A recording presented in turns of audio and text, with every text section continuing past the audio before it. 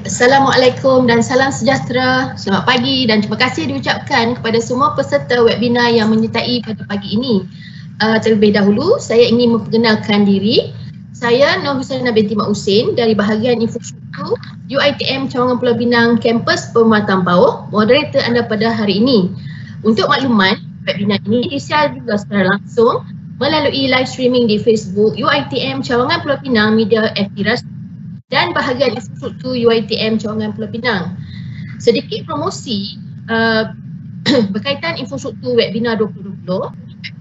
So dia ada uh, ke 31 Disember 2020 sebagai salah satu dari ICT UiTM 2018-2021 pada ICT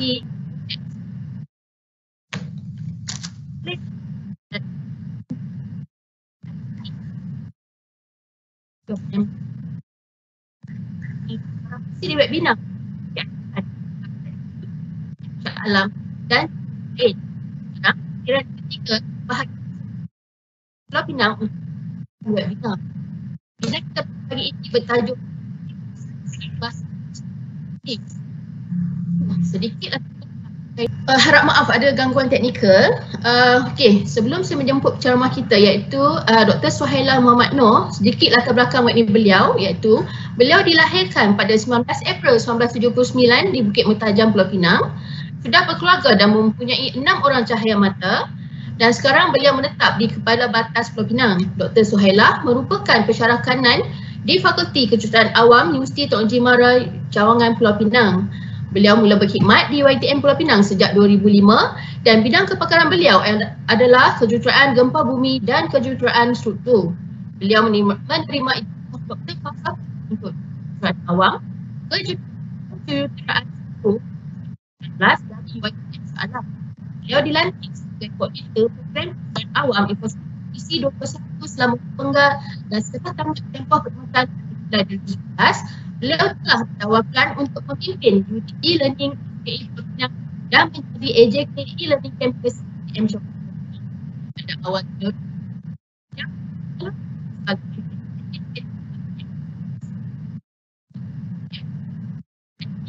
yang mendalam dan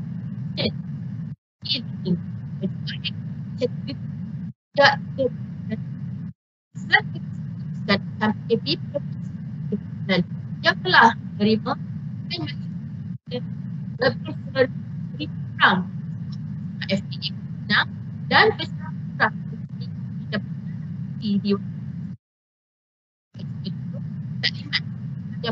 FA sejak atas minat dan inisiatif beliau sendiri sesi latihan Microsoft Team telah diperluaskan kepada pensyarah-pensyarah dari kampus PTM Kedah, Pahang, Johor, Puncak Alam, Puncak Alam dan Sarawak tidak sekali optik dan awam syaklam. Sesi sesi tersebut turut disertai pencara daripada UXN, Polit Vocational, Politeknik dan Sekolah Menengah. Beliau telah mendapat pengiktirafan sebagai Microsoft Innovative Educator MIE Master Trainer pada bulan April 2020. Pada bulan Mei 2020, beliau juga telah dijemput untuk menyampaikan sesi pengkongsian Microsoft Teams secara live di Facebook page Pejabat Penakar UITM pada bulan Oktober 2020, Dr. Suhaila telah dipilih oleh Microsoft sebagai Microsoft Innovative Educator Expert MIEE. Beliau adalah seorang daripada lebih orang MIEE dari seluruh dunia untuk tahun 2020 hingga 2021. Tahniah kita ucapkan kepada Dr. Suhaila di atas pencapaian yang amat membanggakan bagi kami. Kita sangat puas bagi ini. Uh, ekspektasi adalah aku kepakaran dan kepemimpinan beliau dalam menggunakan sistem topik yang topik utama yang dibawakan iaitu 21st Century Classroom Bismarck. Kita nak tahu apa kelebihan Microsoft sebenarnya dan bagaimana Microsoft ini dapat membantu dalam pengajaran dan pelajaran bagi pesara utamanya. Ada seorang pertanyaan sila istama dan jabatan kampus di ruangan Chat 28 Microsoft dan jika melalui Facebook Live melalui ruangan harap semua dapat sama-sama fokus untuk kita jayakan sesi buat webinar matematik ini hingga ke akhirnya. Tanpa membuang uh, masa, kita menjemput Dr. Suhaila. Silakan.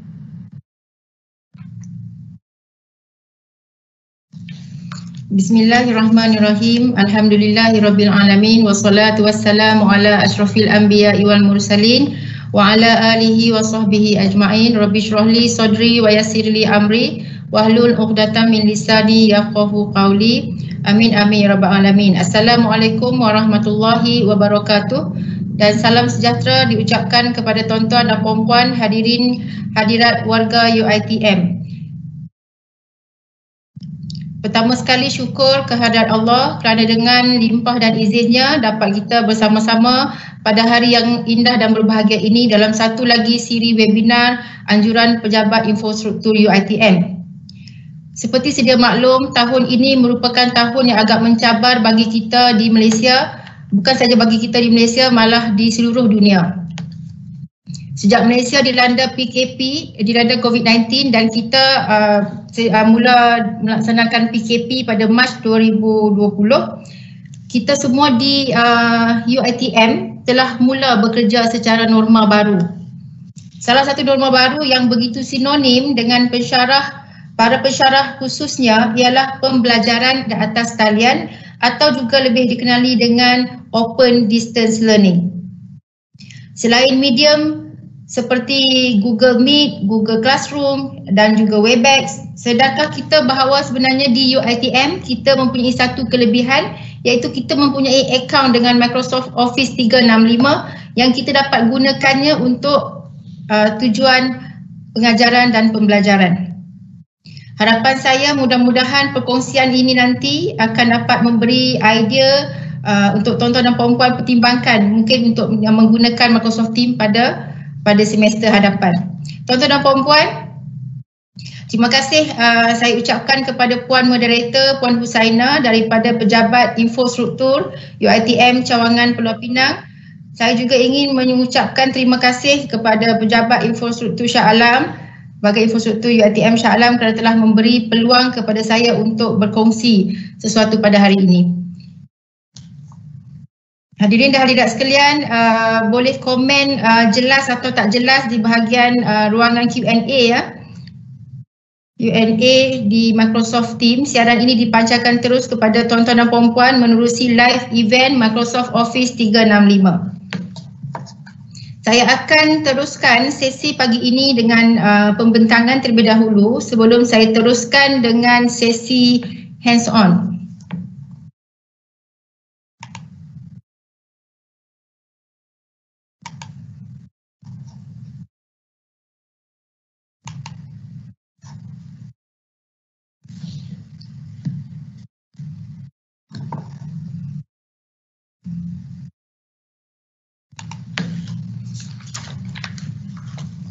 Hadirin dan hadirat sekalian, seperti yang telah dimaklumkan tadi oleh Puan Moderator, Alhamdulillah pada Ogos yang lalu saya telah uh, terpilih sebagai Microsoft Innovative Educator Expert oleh Microsoft Education.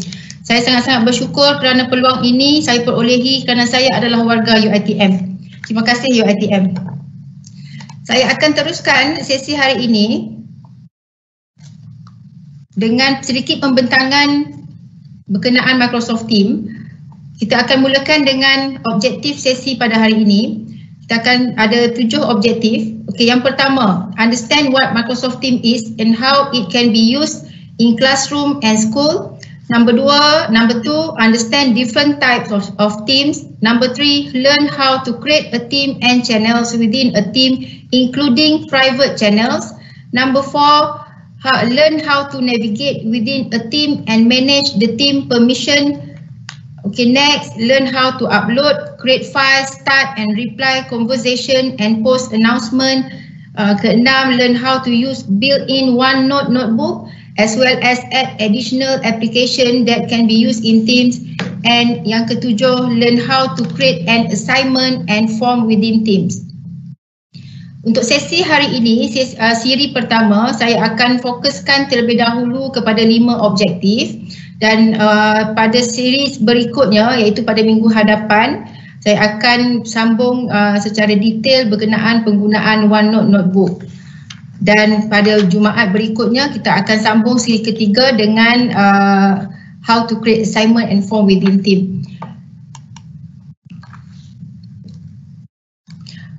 Microsoft Teams merupakan satu medium, satu aplikasi yang lengkap yang bergabungkan pelbagai fungsi, pelbagai platform. Antaranya ialah teaching and learning platform, professional development, student building community, faculty and staff coordination dan juga research platform. Di Microsoft Teams, selain daripada fungsi Teams yang terdapat dalam Microsoft Teams, Microsoft Teams juga dilengkapi dengan fungsi call dan juga fungsi chat.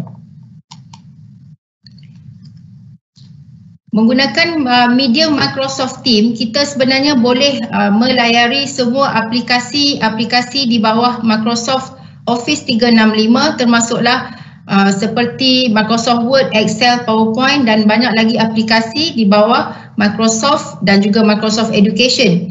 Selain daripada aplikasi-aplikasi di bawah Microsoft, di Microsoft Teams kita juga boleh menggunakan aplikasi-aplikasi third party contohnya aplikasi seperti Kahoot, Flipgrid dan banyak lagi yang boleh kita guna, gunakannya menggunakan platform Microsoft Teams. Dan antara aplikasi yang begitu sinonim dengan Microsoft Teams untuk teaching and learning ialah OneNote dan Flipgrid.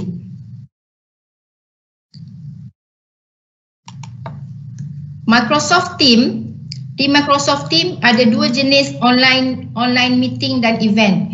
Okey, ada dua jenis uh, online meeting dan event. Yang pertama untuk uh, free for education. Kesemuanya adalah free for education kerana kita di UiTM kita ada password yang sah dengan Microsoft. Okey, yang pertama uh, sesi live meeting yang boleh menampung kapasiti sehingga 300 orang pada satu-satu sesi. Dan yang uh, kedua adalah sesi live event yang boleh menampung sehingga 10,000 attendees pada satu-satu sesi.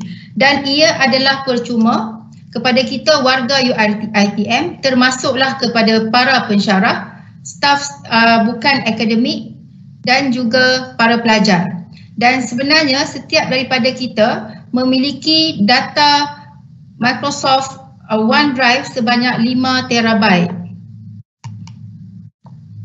Saya perincikan di sini perbezaan di antara uh, live uh, live meeting dan juga live event. Okey, untuk live meeting ia boleh support sehingga 300 orang participant where everyone can share their audio, video and screen. Okey, sesi tersebut boleh dirakamkan dan uh, live event juga boleh uh, disertai oleh attendees daripada luar organisation. Untuk sesi live event, ia adalah sesuai untuk uh, kapasiti yang lebih besar kerana ia boleh men- menampung sehingga maksimum 10,000 participant. Walau bagaimanapun, hanya presenter dan producer sahaja yang boleh share audio video dan juga skrin. Salah satu kelebihan yang ditawarkan oleh uh, live event Microsoft Teams ialah video akan dirakamkan secara automatik, ada attendance list yang boleh di-download pada akhir sesi, engagement report juga available dan dan juga moderated Q&A juga available dan boleh download pada selepas sesi live event berakhir. Microsoft Teams boleh dilayari menggunakan pelbagai jenis device.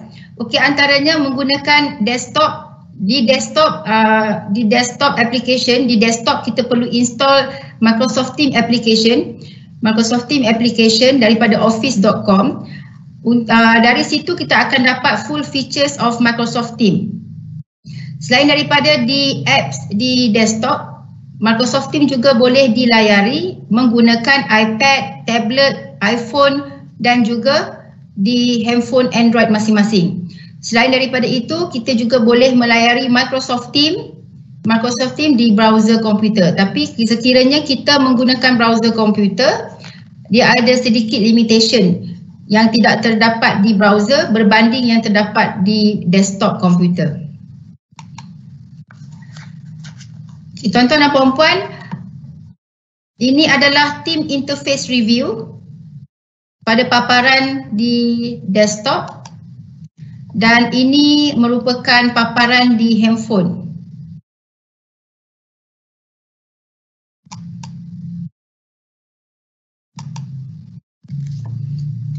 Baiklah tuan-tuan dan puan-puan, kita akan uh, memberi sedikit masa untuk kita mengadakan uh, warm up activity di mana uh, kita akan uh, install bagi yang belum pernah install Microsoft Teams, tuan-tuan dan puan-puan boleh terus uh, install di handphone masing-masing. Okey, untuk panduan uh, sekiranya tuan-tuan dan puan-puan adalah pengguna iPhone, tuan-tuan dan puan-puan boleh pergi ke Apple Store dan install Microsoft Team. Install Microsoft Team dan bagi pengguna Android, bagi pengguna Android tuan-tuan dan puan-puan boleh pergi ke Google Play, Google Play dan sila tuan-tuan dan puan-puan install Teams bersama-sama dengan Intune Portal, Intune Company Portal dan juga Microsoft Authenticator.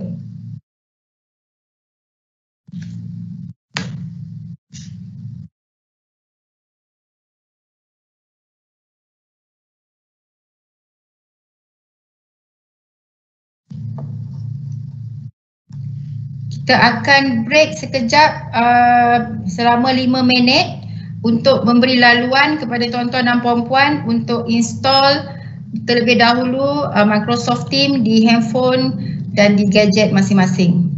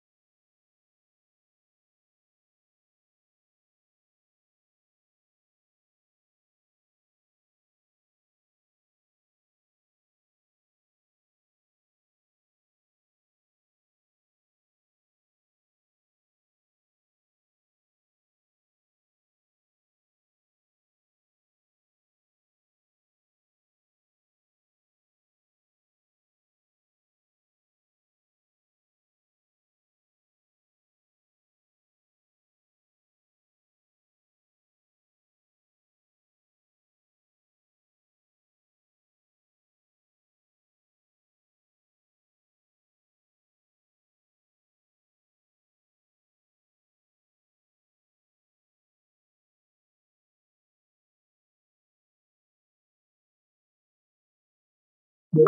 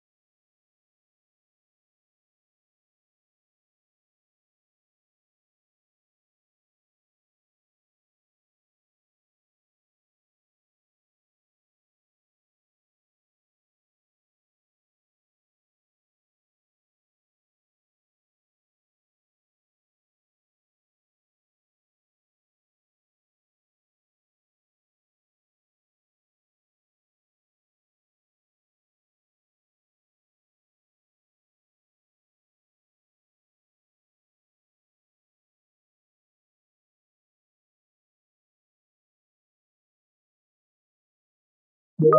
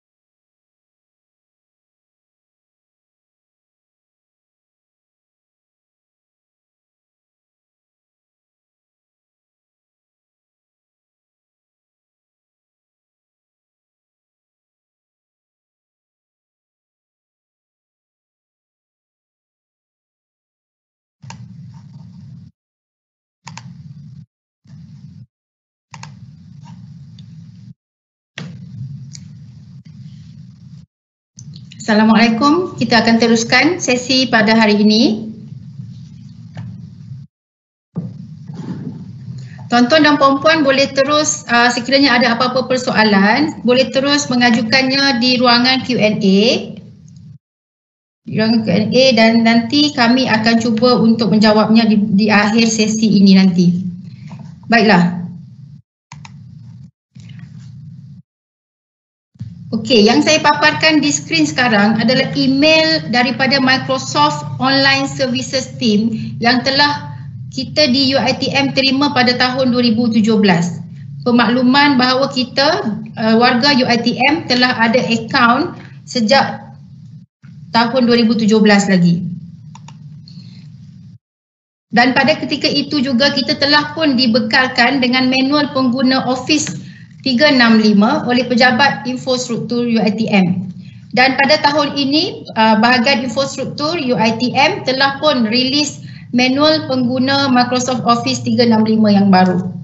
Untuk panduan sekiranya tuan-tuan dan puan-puan baru kali pertama uh, sign in uh, ke uh, account Office 365, tuan-tuan dan puan-puan boleh berbuat demikian, boleh terus ke browser type www.office.com dan kita perlu enter login credential. Enter login credential. Okey.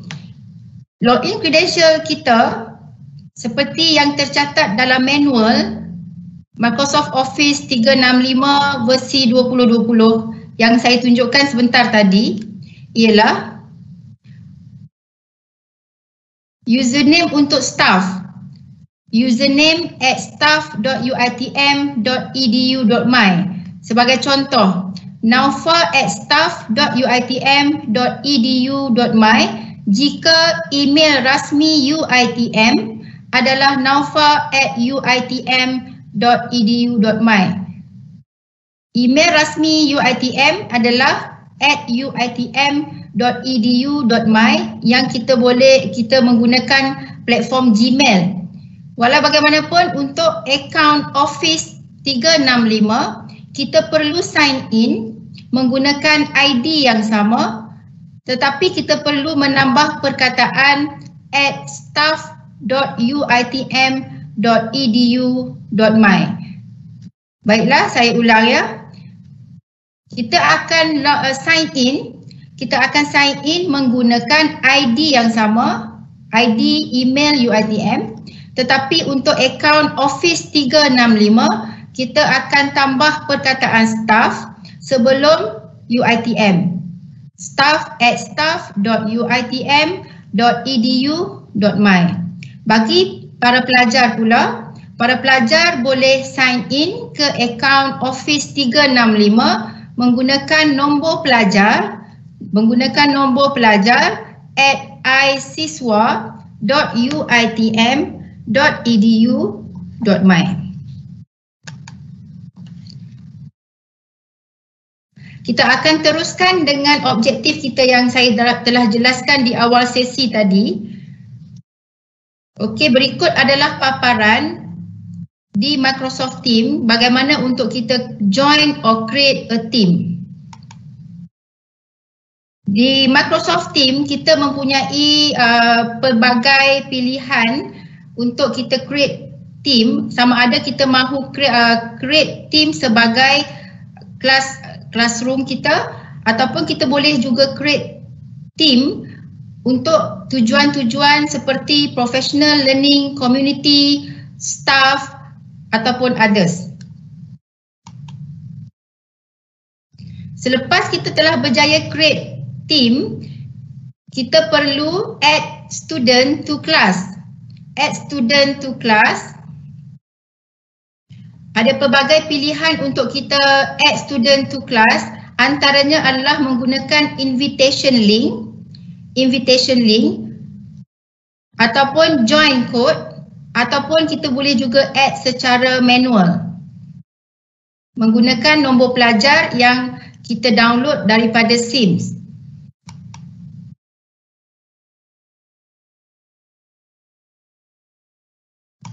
Ada banyak pilihan yang diberi oleh Microsoft Team ya. Okey, ini adalah cara pertama.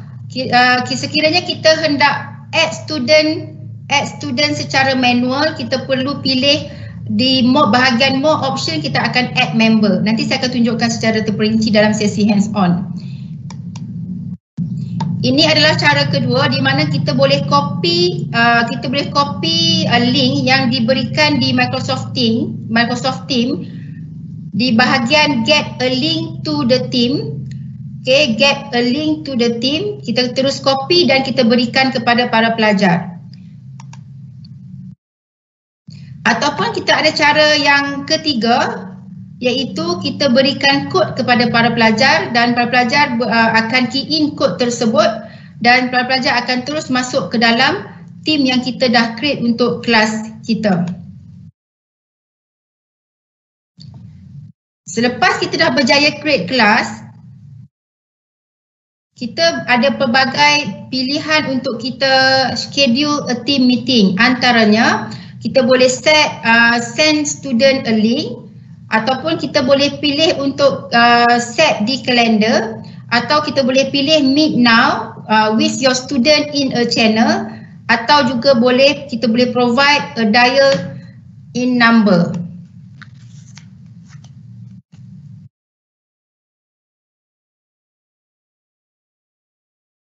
Okey nanti kita akan dapat lihat meet now okey di Teams nanti ini adalah paparan uh, pada kalender di mana kita boleh set uh, terlebih dahulu kelas kita mengikut jadual. Apabila uh, apabila kita telah berjaya start uh, meeting, start kelas, kita perlu start menekan start recording. Dan untuk uh, kita share, untuk kita share slide kita akan pilih butang share dan kita akan diberi beberapa pilihan seperti yang dapat dilihat sekarang sama ada kita nak share desktop, window atau kita boleh pilih untuk kita terus share PowerPoint. Dan di Microsoft Team juga ada satu lagi aplikasi di bawah Office 365 yang dinamakan Microsoft Whiteboard. Microsoft Whiteboard.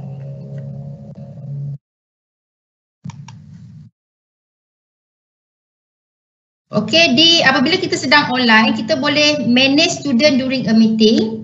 Kita boleh mute participant. Okey dan sebagainya. Dan untuk fungsi leave meeting ada dua fungsi kat sini. Kita ada fungsi leave meeting dan juga end meeting. Leave meeting bermaksud uh, bermaksud kita hanya keluar sekejap daripada room tersebut. Kalau end meeting maksudnya kita akan end the session. Tuan-tuan dan puan-puan sekalian, ini adalah satu uh, sesuatu yang menarik yang ditawarkan oleh Microsoft Team kepada kita. Apa yang saya tunjukkan sekarang ni adalah paparan Together Mode. Together Mode yang terdapat di dalam Microsoft Team Live Meeting.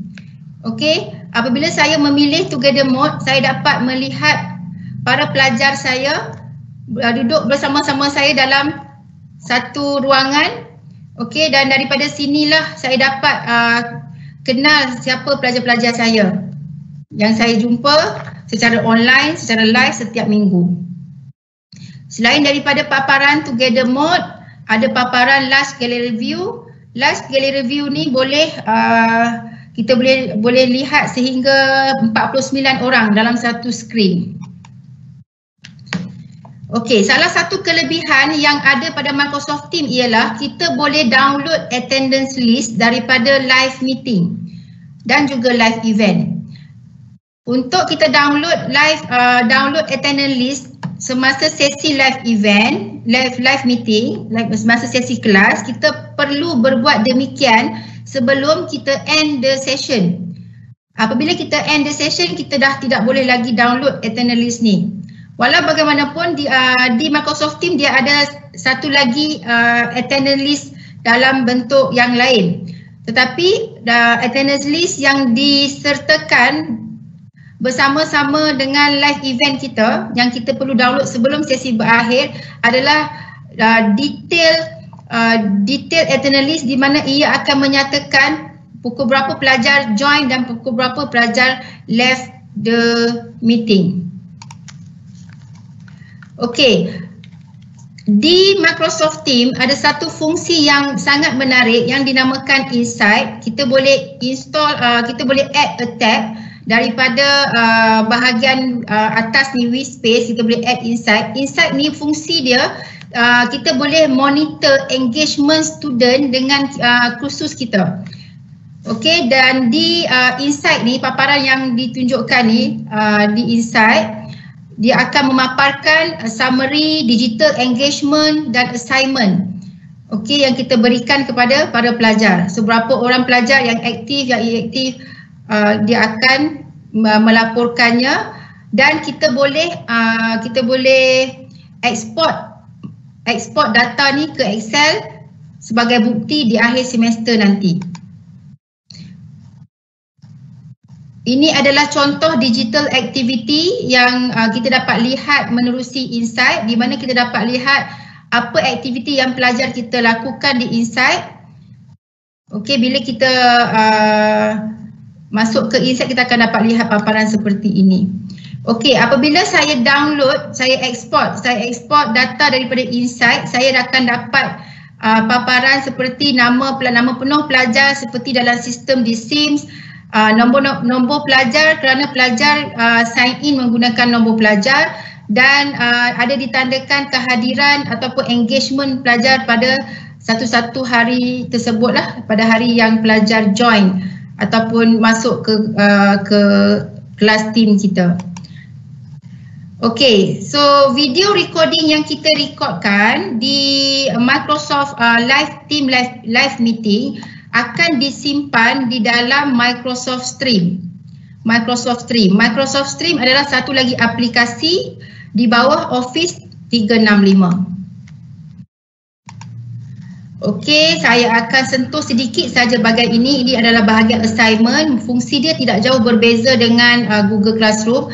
Tetapi satu yang perlu saya highlight kat sini adalah kelebihan yang Microsoft Team tawarkan adalah fungsi turn it in yang terdapat pada bahagian assignment di Microsoft Team. Kita hanya perlu mengaktifkan uh, butang ni yes kita hanya perlu klik yes pada turn in semasa kita hendak set assignment kepada pelajar dan apabila pelajar turn in assignment so sistem secara automatik akan uh, terus link kepada turn it in UiTM uh, UiTM uh, turnitin.com dan dan result akan dipaparkan terus kepada pelajar kepada pelajar dan kepada kita Okay, bermakna pelajar apabila dia buat semakan, dia buat semak, dia dia turn in, dia buat semakan dapat percentage lebih daripada 30%, dia boleh memperbaiki terlebih dahulu sebelum dia dia turn in semula, dia turn in semula assignment tersebut. Sehinggalah mendapat percentage seperti yang diperlukan. Okey, bahagian grade, ini bahagian grade. dan uh, ada bahagian kelas notebook yang di link terus daripada assignment kelas notebook. Yang ni saya akan perincikan dalam sesi pada minggu depan. Ini adalah paparan kelas notebook. Okey ini adalah paparan kelas notebook kelas saya. Saya menggunakan kelas notebook bagi menggantikan uh, whiteboard. Okey so kita dah tamatkan uh, pembentangan uh, sini di sini. Tapi sebelum itu, uh, saya ingin mengajak tuan-tuan dan puan-puan boleh buat boleh uh, boleh ikut step ni, boleh buat sekarang ataupun selepas habis sesi ni. Sila tuan-tuan dan puan-puan uh, login ke masuk ke bahagian ini https uh, education.microsoft.com. Okey. Apa yang tuan-tuan perlu buat adalah kita akan dibawa terus ke Microsoft Educator Center. Ke Microsoft Educator Center di mana kita perlu sign in, kita perlu sign in menggunakan uh, menggunakan account Microsoft UiTM dan di situ kita boleh okey, kita boleh redeem achievement code. Redeem achievement code redeem achievement code dan bila saya klik Okey, kita dapat lihat di sini redeem code to receive achievement for instructor led training your organization or MIE trainer. We provide you such a code you can also become an MIE trainer. Tadi ada yang tanya macam mana nak jadi MIE trainer? And offer Microsoft training to educators. Okay, so nanti tolong simpan kod ini dan tolong key in ke dalam sini ya redeem redeem code ni. Ini dia punya kod. Tolong uh, saya mohon tuan-tuan dan puan untuk simpan kod ini untuk uh, buat redemption okey so saya end this uh, slide presentation dulu.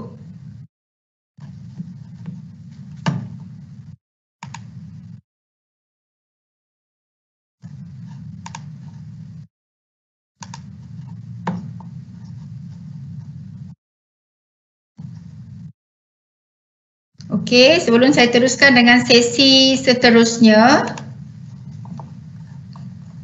saya nak review sekejap Q&A.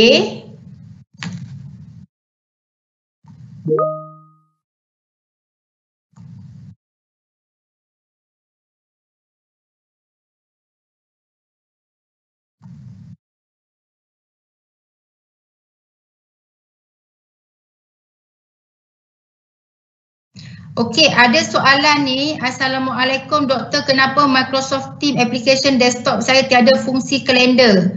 Kalender ni penting ya. Uh, kena uh, kena semak balik. Kalau tak ada fungsi kalender memang kena maklum kena buat ad, uh, aduan. Aduan dekat units tu kena buat aduan untuk uh, untuk minta bahagian info tag untuk uh, update balik. Update balik. Sebab ada orang yang boleh sign in menggunakan uh, menggunakan ID tanpa staff tapi bila dia uh, di, bila dia sign in guna ID tanpa staff tu dia takkan dapat full features tu. Jadi saya nak uh, maklumkan di sini sila tuan-tuan dan puan-puan sign in tu sign in mesti letak perkataan staff sebelum perkataan UITM. Okey, letak perkataan staff sebelum perkataan UITM.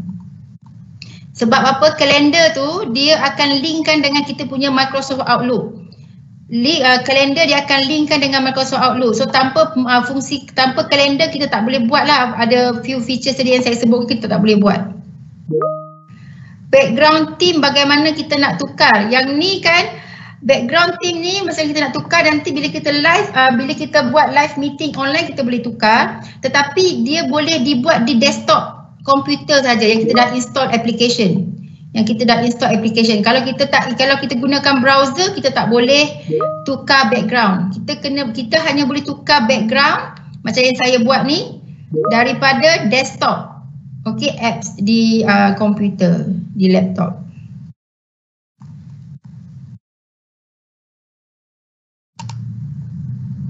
nak tanya berkenaan attendance list kalau pelajar masuk dan terkeluar lepas tu dia masuk balik. Ya, dia akan uh, rekodkan masuk keluar masuk keluar masuk keluar berapa kali pelajar masuk berapa kali pelajar keluar. Dia akan rekodkan. Macam mana nak dapat insight nanti saya tunjuk. Macam mana nak dapat kod uh, kod tadi pun nanti saya akan tunjuk sekejap lagi.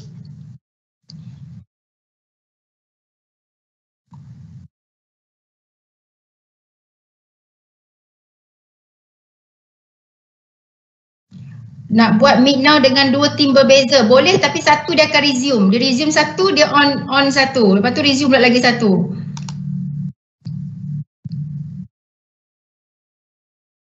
Okay, inside. Di browser memang ada limitation. Di browser ada limitation. Okay, nanti slide saya akan email Okey, so saya akan terus uh, share. Disebabkan sekarang ni saya tengah live event di desktop saya tak boleh tunjukkan full features di daripada daripada saya punya desktop apps. Saya akan uh, share sekarang daripada desktop. Okey yang ni dulu saya akan share. Okey. Ini uh, cara cara pertama yang kita kena buat apabila kita nak login kali pertama. Apabila kita nak login kali pertama, kita perlu sign in terlebih dahulu. Okey, so kita kena pergi ke office.com pergi ke office.com uh, dan kita akan sign in. Okey, kita akan sign in. Okey, sign in. Bila kita tekan sign in ni, Okey, kita akan nampak paparan ni lah. Kita akan nampak paparan ni. Paparan ni kita akan nampak. Okey, kita perlu, di mana kita perlu masukkan kita punya ID. Okey, ada perkataan staff.uitm.edu.my. Okey, dan kita akan tekan next. Tetapi bagi pengguna kali pertama yang belum pernah uh, sign in kan, belum pernah sign in, Tuan-tuan dan puan-puan perlu reset dulu password. Perlu set dulu forgot password. Set forgot password lepas tu ikut arahan uh, macam biasa kita reset password tu. Okay. Uh, so itu untuk yang first time nak login. First time nak login. Okay. Uh, tak perlu sign uh, sign up sebab kita semua ada account. Kita semua ada account so kita hanya perlu sign in. Tapi untuk yang kali pertama nak sign uh, sign in kena set dulu forgot my password lepas tu kena ikut arahan. Ikut arahan selanjutnya. Okay, uh, so bila tekan sign in. Okay, kejap-kejap eh. Bila tekan sign in. Saya pindah balik ke saya punya ni.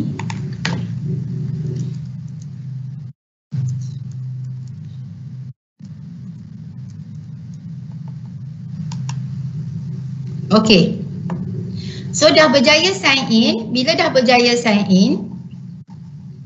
Yang ni saya pilih yes. Okey. So bila saya pilih yes daripada tadi kan office.com tu dah pilih yes. Kita akan nampak ni. Uh, ini adalah kita punya office.com. Office.com yang kita boleh lihat sekarang ni di bahagian atas ada install office ada install office jadi sekiranya tuan-tuan dan puan-puan baru beli laptop okey ataupun uh, di laptop tuan-tuan dan puan-puan ada office version yang uh, terdahulu. So boleh boleh pilih untuk install office dan kita akan dapat full lah. Full tak payah beli lagi daripada kedai komputer yang tawarkan 365 setahun tu kan. Okey boleh terus install daripada sini. Percuma ya percuma. So uh, di bahagian kiri ni bahagian kiri seperti yang kita lihat sekarang di bahagian kiri adalah Uh, aplikasi-aplikasi banyak ya di bawah Microsoft Office 365. 365. Ini yang biasa kita guna Word, Excel, PowerPoint, ada Microsoft Outlook yang tadi saya sebut link dengan kalender daripada Microsoft Team, ada OneDrive. Okey, akaun kita ni kita dibekalkan dengan data, dengan data 5 terabyte ya, 5 terabyte. 5 terabyte. Lepas tu kat sini kita nampak ada OneNote, OneNote SharePoint, Microsoft Team, ini team, ini icon team. Ada Microsoft Sway, Microsoft Form yang sama fungsi dia dengan Google Form. Kita ada Microsoft Stream, Microsoft Stream, Microsoft Yammer. Ada banyak lagi. Kalau saya klik sini kan, okey, ada banyak lagi aplikasi-aplikasi di bawah Office 365. Ada banyak eh. Okey, antaranya Microsoft Whiteboard yang tadi saya ada sebut uh, dia uh, semasa sesi yang tadi tu saya ada sebut Microsoft Whiteboard yang kita boleh guna semasa sesi live, live meeting dengan student. Okey, dan ini adalah aplikasi-aplikasi yang lain yang terdapat dalam ni lah ada banyak aplikasi. Okey. Kalau daripada sini saya klik Teams Okey, bila saya klik Teams. Okey, bagi yang kali pertama yang belum pernah install, uh, kita boleh pilih untuk install Teams. Install Teams. Okey, sekejap saya pindahkan screen.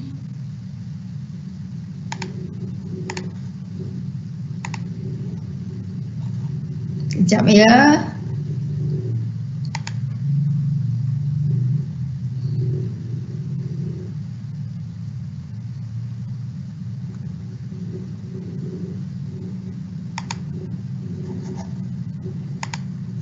Okey. Ini adalah Microsoft Microsoft Team yang saya buka melalui browser. Sebab apa saya buka melalui browser? Sebab saya sedang online ni menggunakan apps. Menggunakan apps. Jadi ada certain-certain function yang saya tak dapat tunjukkan lah sebentar lagi ni kan. Sebabnya sebab saya menggunakan browser sekarang. Okay. So dekat sini adalah paparan grid. Paparan grid ya. Paparan dia panggil grid layout. Ini adalah team. Okay ini adalah team. Okay di bahagian kiri yang ada activity, chat, team, assignment, calendar dan call. Okey, ada di bawah ada lagi apps dan juga help. Okey, bahagian ni adalah dinamakan Me Space, Me Space. Okey, ada activity di mana kita boleh tengok notification yang kita terima. Notification. Lepas tu di bawah activity kita boleh lihat uh, okey boleh terus pergi ke fungsi chat. Okey, chat So salah satu kelebihan chat ni adalah sebab apa bila kita kan kita kan within satu organisation so, uh, kita semua warga UiTM pensyarah semua lah semua warga UiTM pelajar uh, pensyarah uh, staff-staff akademik bukan akademik semua sekali ada uh, dalam sistem data dalam database Microsoft UiTM. Jadi apa yang kita perlu buat bila kita nak contoh kita nak ya kita nak uh, kita nak chat dengan pelajar kita kan kita hanya perlu typekan nombor pelajar. Okey? Nombor pelajar dan dia akan appear macam yang dapat dilihat sekarang. Okey dan ataupun kita nak cari uh, sahabat kita daripada UiTM kampus lain, kita type nama dia. Contoh nama Wan. Okey, so dia akan uh, appear kat sini senarai yang nama Wan. Okey, yang ada di seluruh UiTM. Okey, di seluruh UiTM. Jadi memang uh, saya uh, saya rasa ini adalah satu uh, sesuatu yang menarik yang Microsoft Team tawarkan kepada kita yang tidak dapat di yang tidak boleh kita uh, dapati daripada uh, WhatsApp ataupun di Telegram. Sebab apa? Sebab apabila pelajar uh, message kita di WhatsApp kita tidak tahu siapa sebenarnya pelajar yang yang message kita tapi kalau daripada sini sekiranya pelajar tu message kita menggunakan chat menggunakan chat kita akan tahu siapa pelajar tu sebab akan appear nama penuh dia seperti dalam sistem SIM. Okey, ini fungsi chat. Chat ni terbahagi kepada dua, ada group chat, ada personal chat. Boleh juga kalau kita nak buat call dan video call dan kita juga boleh buat sharing screen menggunakan fungsi chat. Okey, di bawahnya adalah fungsi Teams. Okey, ini ada ikon Teams dekat belah tepi ni, Teams. Okey, ini adalah senarai teams yang uh, yang aktif ya, yang aktif. Ada bawah ni ada banyak lagi, ada kita boleh hide kan team-team yang mana yang kita jarang guna, yang semester lepas yang dah tak aktif, boleh kita hide kan di bahagian hidden teams. Okey, kemudian kita ada bawah lagi ada assignment. Yang ni dia dia menghimpunkan semua assignment daripada semua team yang kita ada. Okey ah tapi saya jarang pakai team yang kat bahagian sini sebab saya akan selalu pakai uh, pakai assignment uh, dekat dalam Teams. Okey ada kalender. Kalender, kalender ni penting. Okey bagi yang dia bila dia sign in dia tak jumpa kalender dia kena buat aduan untuk pihak infrastruktur update balik supaya ada ada kalender bahagian sini. Okey, ada kalender. So kita boleh masukkan kita punya jadual uh, mengikut jadual waktu kita. Dan apabila sampai time uh, kita nak uh, live dia akan terus dalam 5 minit sebelum sesi bermula dia akan terus appear butang join. Dan para pelajar akan boleh join. Uh, dan kita pun akan uh, boleh join direct daripada kalender. Lepas tu ada fungsi call Okey, ada fungsi call macam saya sebut tadi, uh, kita boleh buat call dan saya pernah cuba guna call daripada Microsoft Teams memang very clear. Okey, so ada aplikasi-aplikasi third party yang saya sebut tadi bahagian bawah ni boleh klik dan di bahagian help ni kalau kita klik kita boleh tengok okey ada training. Okey, ada training kat sini, training dan under training ni kalau kita klik dia ada banyaklah video-video pendek yang boleh guide kita contoh uh, boleh guide macam ni kita nak getting started okay create or join team manage team member navigate your team space dia ada video-video pendek 1-2 minit macam tu okey yang kita boleh belajar lah daripada sini. Okey. Dan dekat sini juga ada give feedback ask the community. So yang bagi, dua bahagian ni kalau kita ada apa-apa permasalahan dengan account Microsoft Team kita boleh terus bagi feedback dan Microsoft Education akan uh, cepat uh, reply. Okey, apa saja yang kita komen. Okey, itu bahagian yang dinamakan Mi Space. Mi Space. Okey, yang saya nak highlight di sini adalah team. Okey. Teams. Okey, pada paparan paparan grid uh, grid layout seperti ini. Okey, tuan-tuan dan puan-puan boleh uh, okey tengok bahagian atas ni adalah kita punya account di mana kita boleh tukar kita punya gambar ni. Okey, set status message, lepas tu ada lagi uh, download pun ada kat sini, boleh sign out juga dari sini. Okey. Dan sebelah di bahagian bawahnya ada button ni join or create team. Join or create team. Sebelah dia ada butang setting ya. Sebelah dia ada butang setting. Kita tengok butang setting ni ada dua uh, manage team dan dan juga switch view. Switch view. Kalau kita nak tukarkan grid uh, layout ni uh, dia ada dua pilihan sama ada list ataupun grid.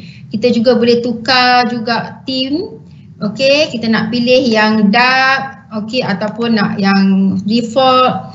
Uh, dekat setting ni kalau pada paparan uh, desktop application dia ada lagi ya setting lain bawah ni cuma yang ni sebab browser kita tak dapat lihat info lah.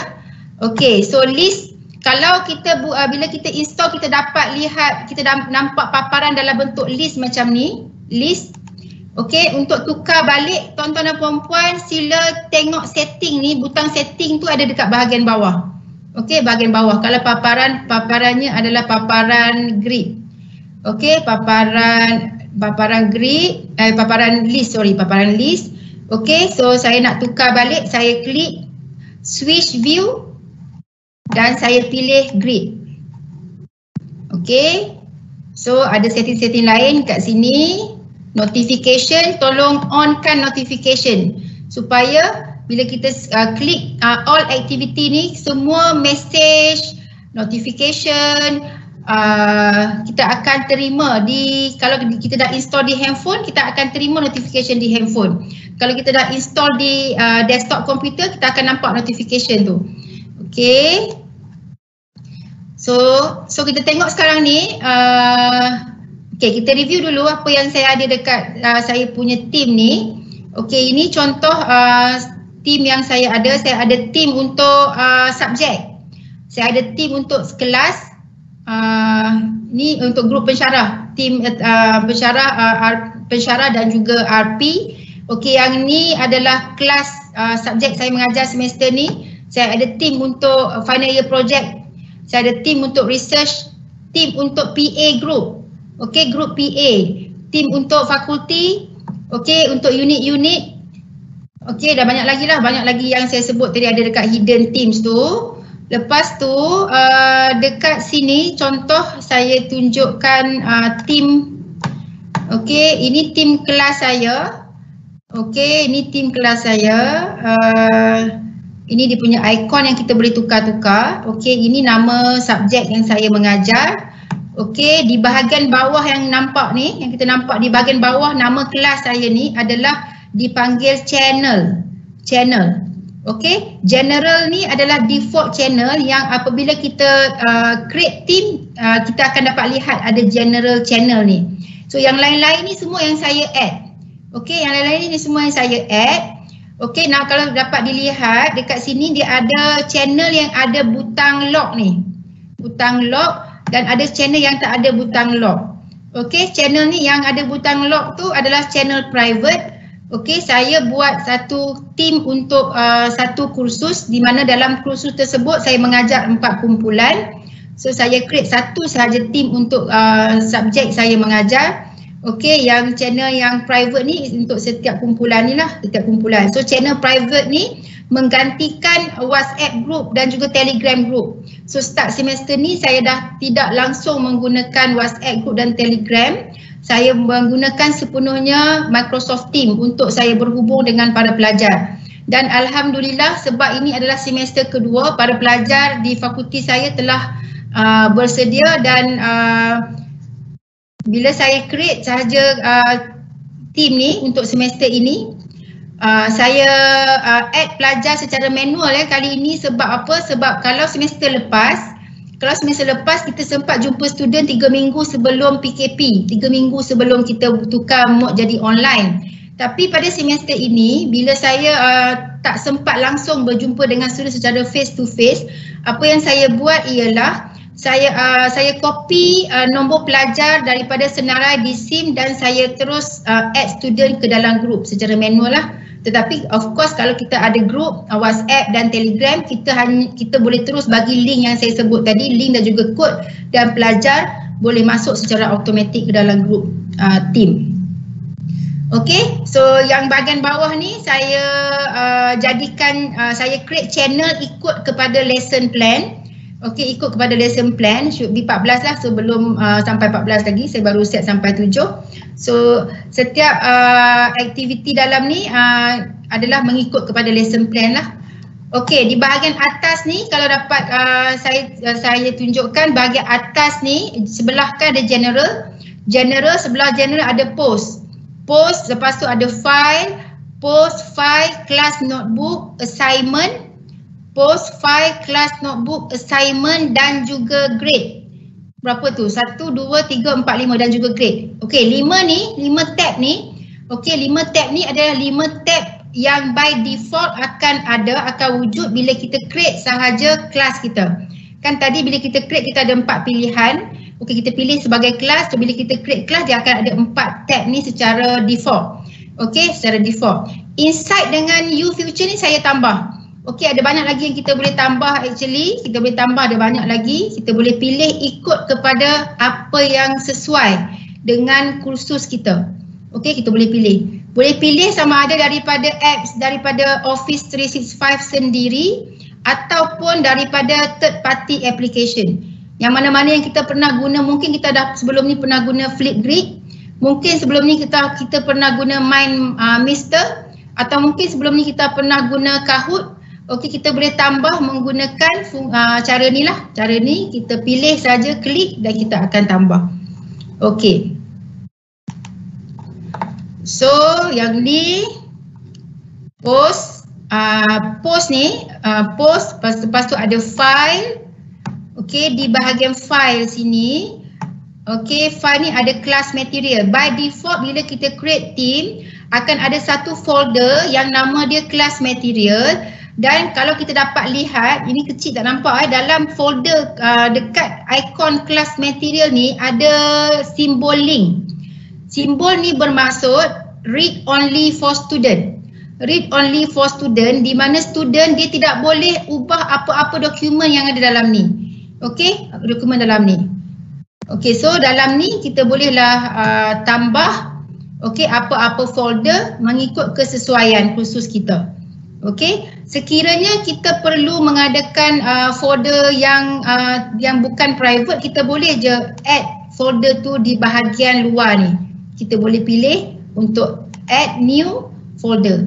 Okey, add new folder. So kita nampak kat sini bila kita add new ni, new new ni nampak ada sama ada kita boleh create folder. Uh, kita boleh create lah folder untuk setiap topik, folder untuk uh, submission ke, folder untuk banyak eh kita boleh create.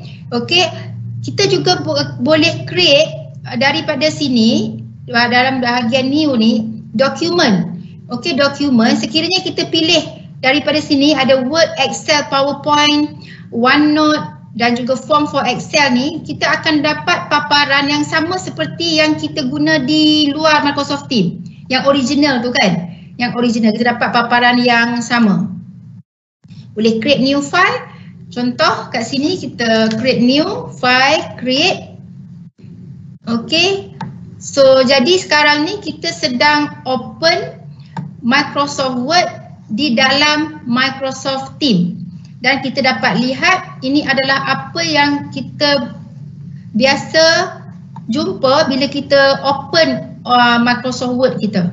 Okay sama. Tak ada beza langsung sama. Cuma kita sedang uh, menggunakan medium Microsoft Teams untuk kita open dokumen. Okey dan dia akan uh, kita boleh terus close je dia akan auto save. Okey, boleh delete juga. Okey, boleh delete. Okey, ada banyak lagi dekat sini uh, fungsi lain. Delete. Okey dah. Okey, boleh upload uh, dokumen. Okey, copy link, boleh download, add cloud storage. Okey, add cloud storage ni fungsi dia, add cloud cloud storage ni fungsi dia sekiranya kita dah biasa kan guna uh, unlimited Google Drive. Kita simpan dokumen kita, nota-nota kita di Google Drive. Kita boleh uh, import ke Microsoft Teams. Okey, contoh kita klik Google Drive, kita perlu sign in. Okey, kita perlu sign in. Okey, kita akan dibawa terus ke kita uh, ke Google Drive kita. Okey, contoh saya pilih folder ni. Okey. Add folder. Okey, dah masuk kat sini dan dan ini adalah uh, read only for student juga dan tak perlu kita boleh delete. Okey, kita boleh delete dan boleh add balik at any time. Okey, dan kita juga boleh open in SharePoint. SharePoint ni saya akan cerita pada siri yang akan datang lah, saya tak perincikan kat sini. Okey, lepas tu ada class notebook. Ada class notebook. Class notebook ni uh, ini untuk uh, kelas saya. Class notebook ni sebenarnya Microsoft OneNote. Okey, Microsoft OneNote yang telah di uh, embed dalam Microsoft Teams. Okey, apa yang menariknya, okey di dalam Microsoft uh, OneNote ni, okey kita dapat lihat ada space for co collaboration space, content library. Okey, kat sini ada perincian dia. Perincian dia dia ada student notebook, ada content library, dan ada collaboration space. Okay, so kalau uh, kita open, kita akan nampak paparan macam ni dan kalau kita nak tengok folder-folder yang ni, yang seperti yang ditunjukkan ni, kita kena tekan arrow ni. Okay, tekan arrow ni, so kita akan dapat lihat, okay, collaboration space ni, uh, bos pastilah saya dan juga para pelajar boleh akses okay, dokumen dalam ni. Content library ni, saya apa yang saya buat semester ni saya samakan dengan lesson plan seperti yang channel yang tadi saya tunjuk. So sekarang ni dah sampai week 5 so saya dah ada lah kat sini uh, semua lecture-lecture yang saya jalankan dengan para pelajar so saya simpan di sini. Saya buat di sini secara live dan uh, okay dan pelajar-pelajar dapat review balik lah nanti at any time dan saya boleh distribute juga kepada pelajar each individual student. Okay, lepas tu ada teacher only section. Teacher only section ni di mana saat ini adalah satu uh, space yang mana hanya kita je boleh review dokumen ni. Okay, kalau so kalau kita boleh gunakan uh, space ni untuk kita prepare soalan dan student tak akan dapat lihat sama sekali. Kecuali lepas kita distribute kepada pelajar. Okay, so yang bawah ni, yang banyak ni nampak ni, yang banyak-banyak ni semua adalah pelajar saya semester ni. Semester ni. So, contoh saya klik satu pelajar.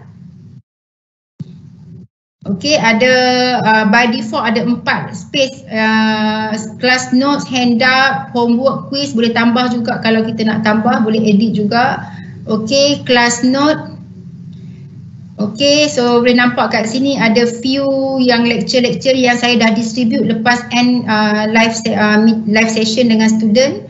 Okay, homework. So saya minta student submit di sini dan saya boleh terus semak. Okay, student upload sahaja. Okay, kejap.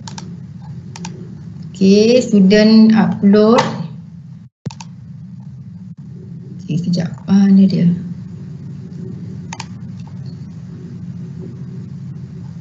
So student boleh upload lah seberapa banyak exercise yang dia nak upload. Kalau dia rajin buat extra exercise, so kita boleh semak lah. Ha, ini adalah apa yang student upload. So sesuai untuk formative assessment lah. Okay, so kelas notebook. Uh, ini kelas notebook. Nanti saya akan perincikan uh, kelas notebook ni pada sesi yang akan datang. Okay, assignment.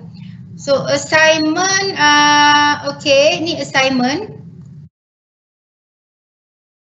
Ruangan assignment dia ada dua uh, kategori lah. Dia ada kategori kalau kita create ni dia ada kategori quiz dengan assignment. So sebenarnya ni semua formative assessment sahaja. Okey yang satu yang saya nak tunjukkan dekat sini uh, contoh okey saya bagi satu task sebab uh, pelajar-pelajar ni bila online dia macam malu kan. Dia macam malu nak uh, on camera. Jadi macam bila dia malu nak on camera, bila saya onkan together mode tu, saya tak dapat full yang kalau 30 pelajar, 30 dalam screen tu. So, saya tak puas hati, saya nak juga tengok student, saya nak kenal saya punya student. So, apa yang saya buat, saya buat satu uh, small task menggunakan flip grid.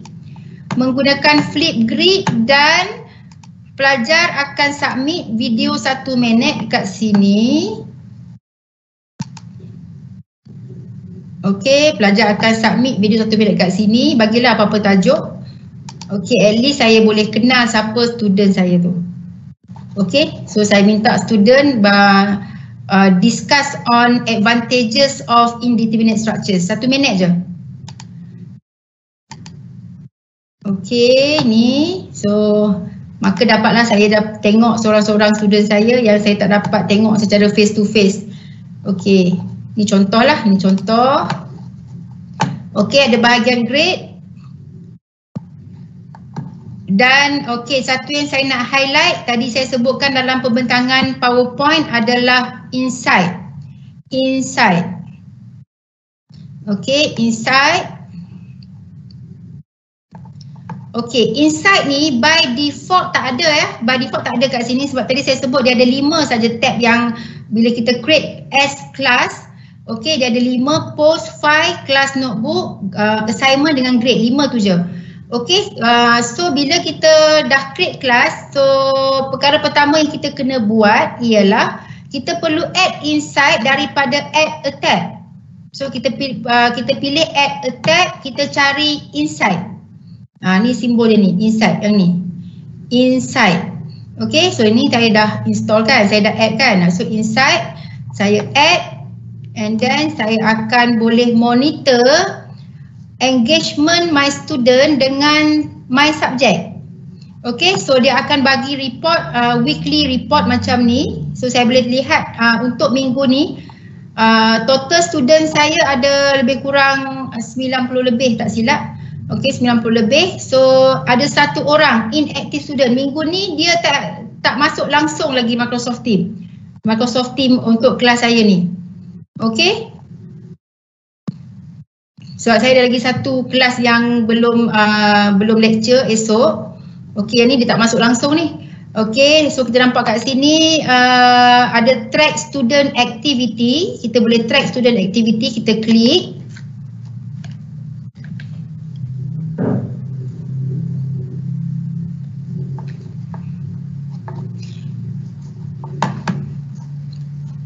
Kejap lagi kita break untuk tengok soalan ya. Uh, saya cerita sekejap berkenaan insight sebelum lepas ni nanti selepas uh, saya dah review uh, saya punya team, saya akan kita akan uh, create new team dan tuan-tuan dan puan-puan boleh join team tu nanti. Okay. So ini digital activity, under digital activity ni kita boleh tengok uh, all student dan juga each individual student. Okay, seorang-seorang pun boleh. Lepas tu kita boleh tengok all activity ataupun kita boleh uh, tengok on each activity seperti meeting ini kelas lah, kelas meeting, communication, file, assignment. Okey ataupun uh, all activity kita boleh uh, export sama ada uh, satu, satu all activity ataupun each individual activity. Okey so kita boleh tengok juga ni uh, report engagement student untuk today, yesterday dan kita boleh pilih untuk bulan lepas. Okay, uh, and boleh pilih juga custom range juga boleh pilih daripada sini. Okey, kalau kat, uh, kat sini tuan-tuan dan perempuan nampak tak? Kejap eh, saya cuba besarkan. Okey. Okey, nampak tak uh, ada uh, line-line tu kan? Line-line tu. Okey, line-line ni kalau saya klik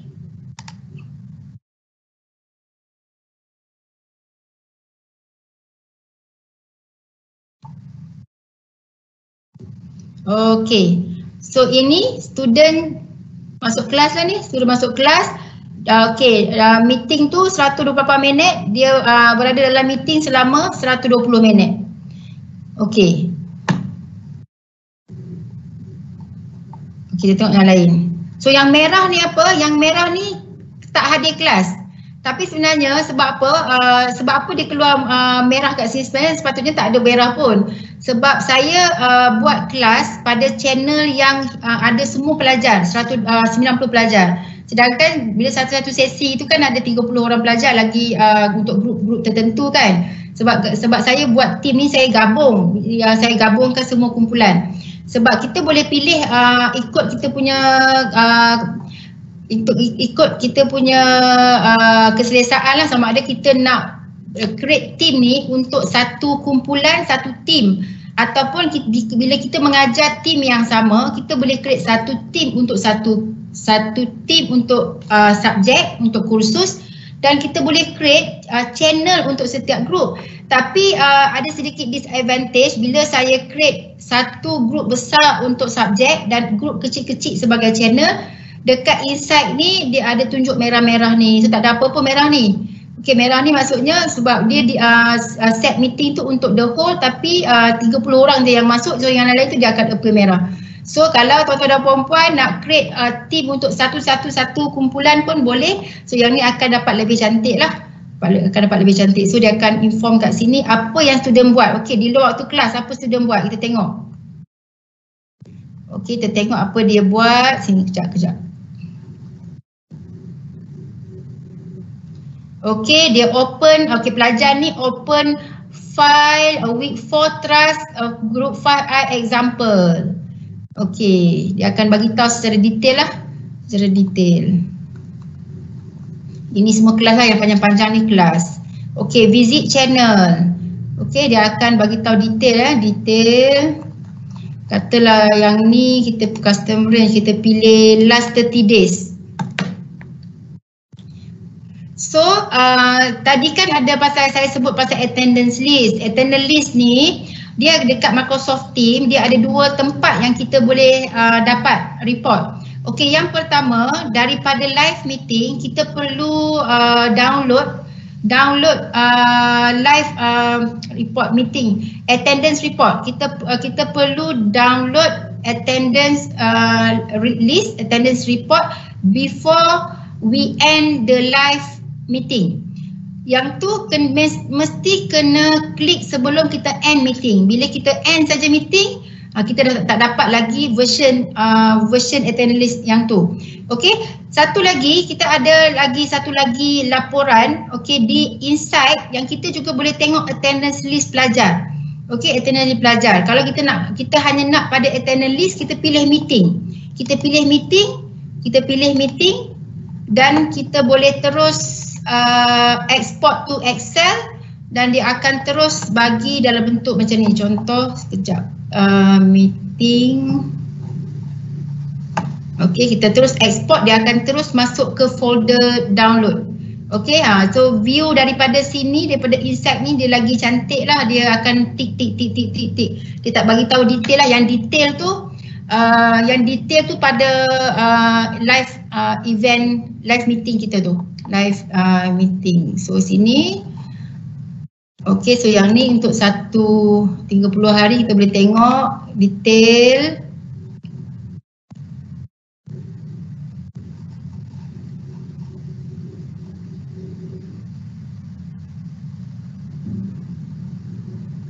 Okay.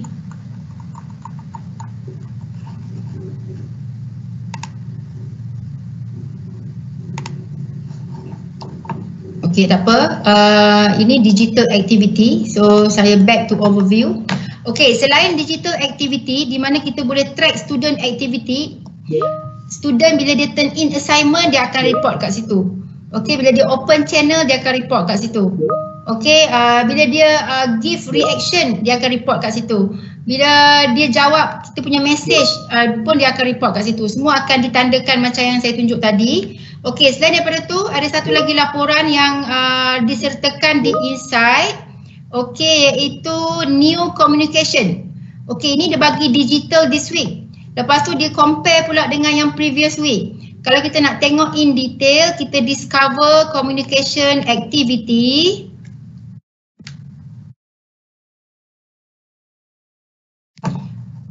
Okay, kita boleh tengok uh, on uh, okay all student, all channel boleh pilih juga uh, kita nak tengok on each channel yang kita ada kat sini. Dia appear semua channel-channel termasuk private channel. Kita boleh tengok uh, all channel juga.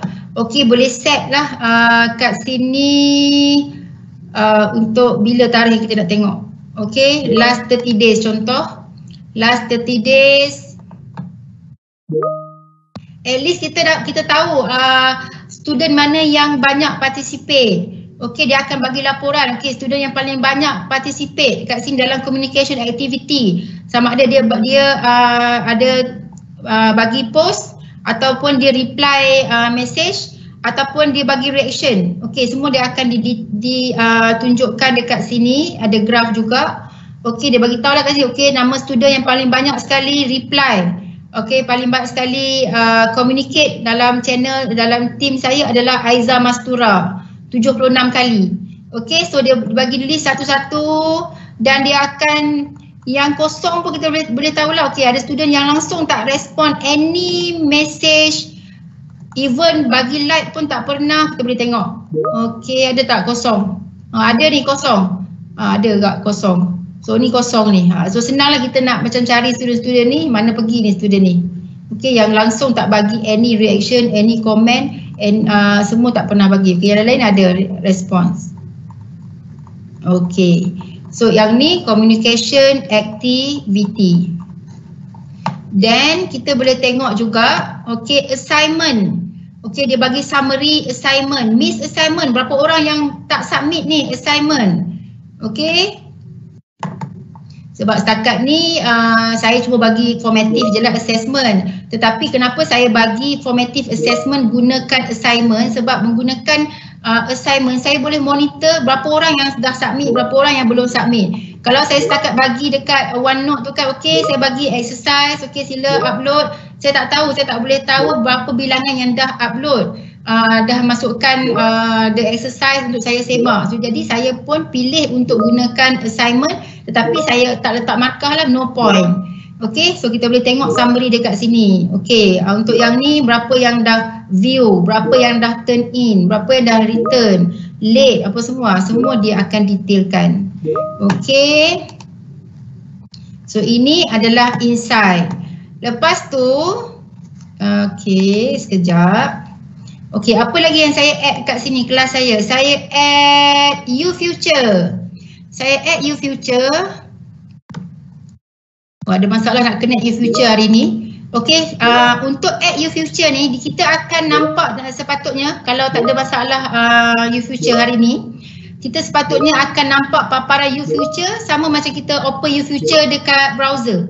Okey, sebab apa yang saya buat kat sini adalah saya add saya add, saya pilih website dan saya akan copy link You Future dan saya akan paste pada web bahagian website ni. Saya letak nama You Future, saya paste link kat sini dan saya akan uh, okay, saya akan buka You Future menggunakan medium Microsoft Team. Maknanya bila kita guna Microsoft Team ni, kita tak perlu nak minimize Microsoft Team Lepas tu minimize Microsoft Team, open pula new browser tak perlu. Guna Microsoft Team, semua yang kita biasa gunakan tu uh, kita akan open menggunakan platform Microsoft Team. Okay, uh, so uh, tak boleh tunjuk yang ni. So kita boleh set lah, boleh set kita punya kelas. Kita uh, kan kalau ada keperluan daripada cawangan untuk dapatkan attendance pelajar daripada UFuture. So kita boleh buat jadi dekat sini, dekat UFuture di dalam Microsoft Team. Okay. So uh, dekat sini okey saya tutup yang ni. Okey so kita nak start dengan demo sekejap. Okey so join. Kita pilih bahagian atas ni ya. Bila kita nak start uh, kita nak start uh, kita nak start create class okey nak start create class kita pilih kat situ tadi join or create team so tengok yang dua box ni je okey yang dua box ni Okay, dia ada create a team, create a team ataupun join a team with a code. Join a team with a code. Okay, contoh. Okay, contoh kita uh, kalau pelajar dah dapat code dia akan key in dekat join a team with a code. Tapi kalau untuk first time kita belum create lagi uh, any team, kita kena create team.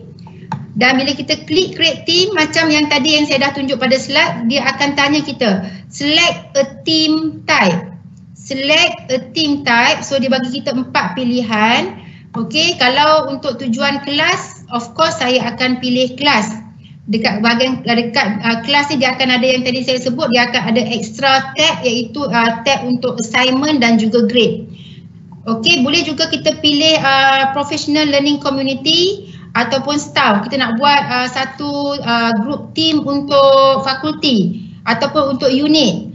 Okey ataupun untuk uh, any lah any tujuan uh, research dan sebagainya boleh create daripada dua uh, dua ni lah dua ni dan for others jugalah okey so yang paling uh, basic adalah yang others ni yang hanya ada dua tab yang basic file uh, file dan juga conversation okey kita create class create class okey yang pertama kita kena namakan kelas kita tu. Kelas uh, demo 02.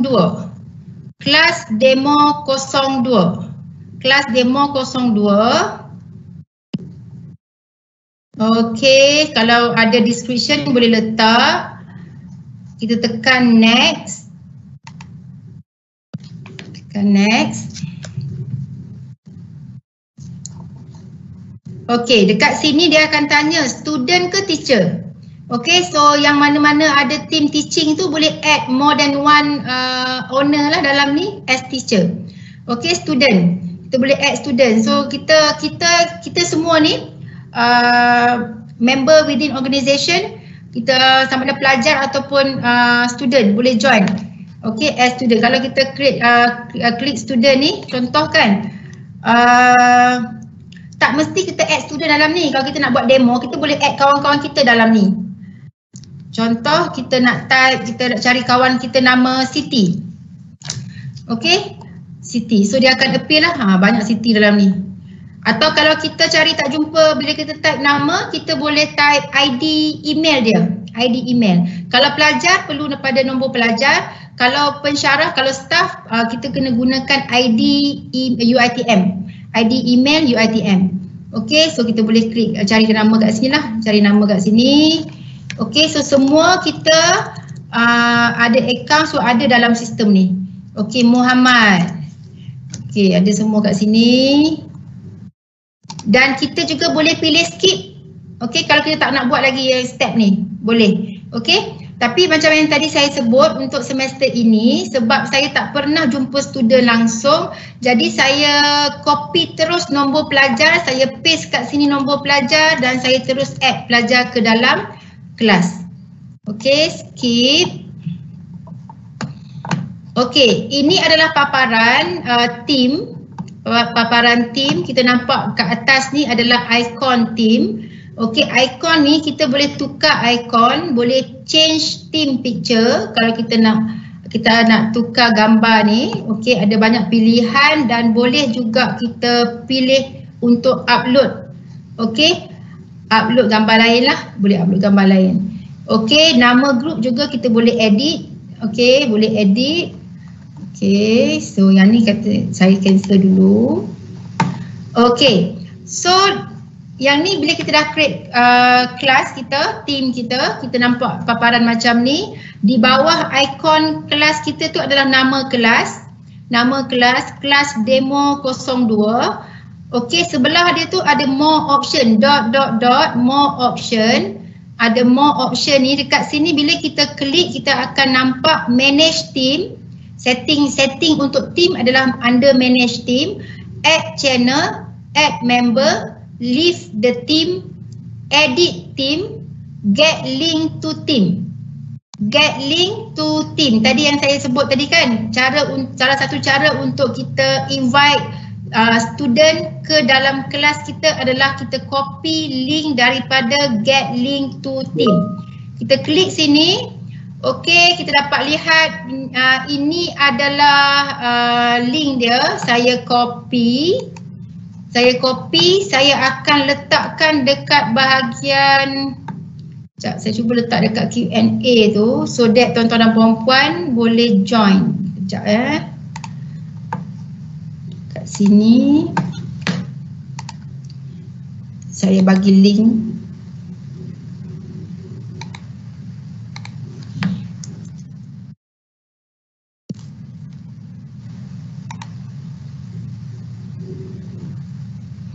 Okay. So boleh klik link tu untuk join yang team tadi tu. Okay.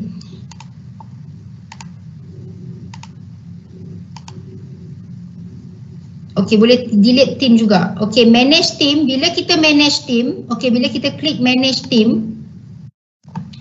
Okay kita dapat lihat yang ni. Uh, paparan ni. Okey, under manage team ni dia ada apa? Bahagian atas ni dia ada uh, dia ada satu lagi ikon kelas kita. Okey, nama kelas kita. Uh, di bawahnya ada member, members. So kita dapat lihat ahli di bawah ni di dalam kelas kita ni. And then uh, berapa orang owner? Berapa orang owner, berapa orang member dan guest. Uh, guest ni maknanya kita boleh juga invite uh, daripada luar UiTM guna personal email uh, uh, email address. Okay. Tapi dia ada, uh, dia tak dapat yang full lah. Dia akan dapat ada certain limitation untuk guest. So member ni maknanya uh, kita semualah within our organisation. Okay. So pending request. Pending request ah ni dah ramai yang request ni. So so bila kita guna link, kenapa saya bagi link tu tadi? Sebab saya nak tunjukkan bila kita bagi link pada pelajar, bila kita bagi link pada pelajar, bila pelajar klik link tu, dia akan masuk ke bahagian pending request di mana kita boleh tapis siapa yang kita nak accept. Okay, siapa yang kita nak accept. So boleh accept all juga, so saya accept. Okay, so bila saya dah accept, bila saya tengok balik member, so dah ada 12 orang dalam ni as member. Okay, as member. Okey, saya boleh tengok detail ni, detail pelajar ni. Okey, ni Fakulti Sains Komputer, Syazrin Niza. Siti Rafida, Fakulti Kejuruteraan Kimia. Engku Zahara, Fakulti Sains Gunaan. Okey, Muhammad Khalil. Uh, yang ni tak ada detail lah. Yang ni, uh, siapa ni? Encik Muhammad Khalil ni sign in menggunakan uh, ID tak ada staff. Tak ada perkataan staff. Maknanya ada, uh, cuba cek ada tak kalender dengan Microsoft Outlook. Sebab saya dulu pun mengalami masalah ni bila tak ada perkataan staff tu ada certain function yang tak wujud dalam uh, kita punya teams tu. Okey, yang ni, okey, yang mana yang pakai perkataan staff tu dia nampak tak dia huruf besar dan ada nama fakulti kat situ. Okey, yang ni ada Muhammad Izzat. Okey, Cik Muhammad Izzat, Fakulti Seni Bina. Okey, uh, siapa lagi? Syekh uh, Encik Syekh Ahmad, uh, Fakulti Sains Gunaan. Okey. Cik Azros uh, Fakulti Filem. Okey, ada kat sini ya. Okey, dah detail dia ada kat sini. So kat sini boleh uh, kat sini ada chat. So boleh terus video call, boleh terus call juga kat sini. Okey, untuk buat personal call ya. Okey, yang ni uh, yang ni adalah bila bila uh, member tu okey join menggunakan link. Okey. Ada lagi new request, so saya accept all. Saya accept all. Okay. Okay. So dekat sini member pending request channel setting. Okay? Channel? Channel by default ada satu je channel sebab saya belum add lagi uh, channel lain. Okay saya nak highlight dekat setting sebab dekat setting ni ada team code. Okay, under setting, under setting cari team code, pilih team code. Team code lepas tu ada butang generate. First time bila kita create team, uh, dia belum ada lagi code so kita kena generate code. So kita tekan generate, tekan generate, so dia akan bagi kita satu code. Ini code dia. Okay, so tuan-tuan dan puan-puan yang lain yang uh, yang masih belum join kelas demo 02 ni, tadi dah ramai yang join guna link, sekarang cuba join guna code. Okay, cuba join guna code. Pergi ke uh, join a team with a code. Okay, masukkan kod IXNKBAS. IXNKBAS. Boleh masuk kod ni? Dapat? IXNKBAS. Okay, sekejap saya buat announcement. Saya pindahkan ni ke bahagian announcement.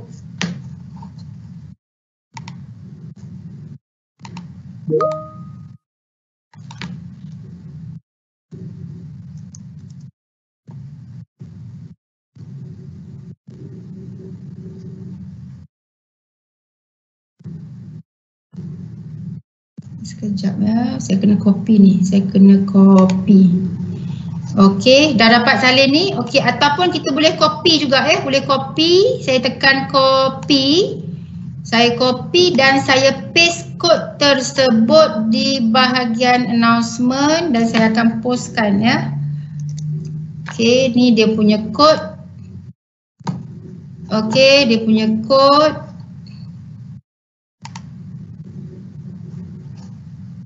Okay.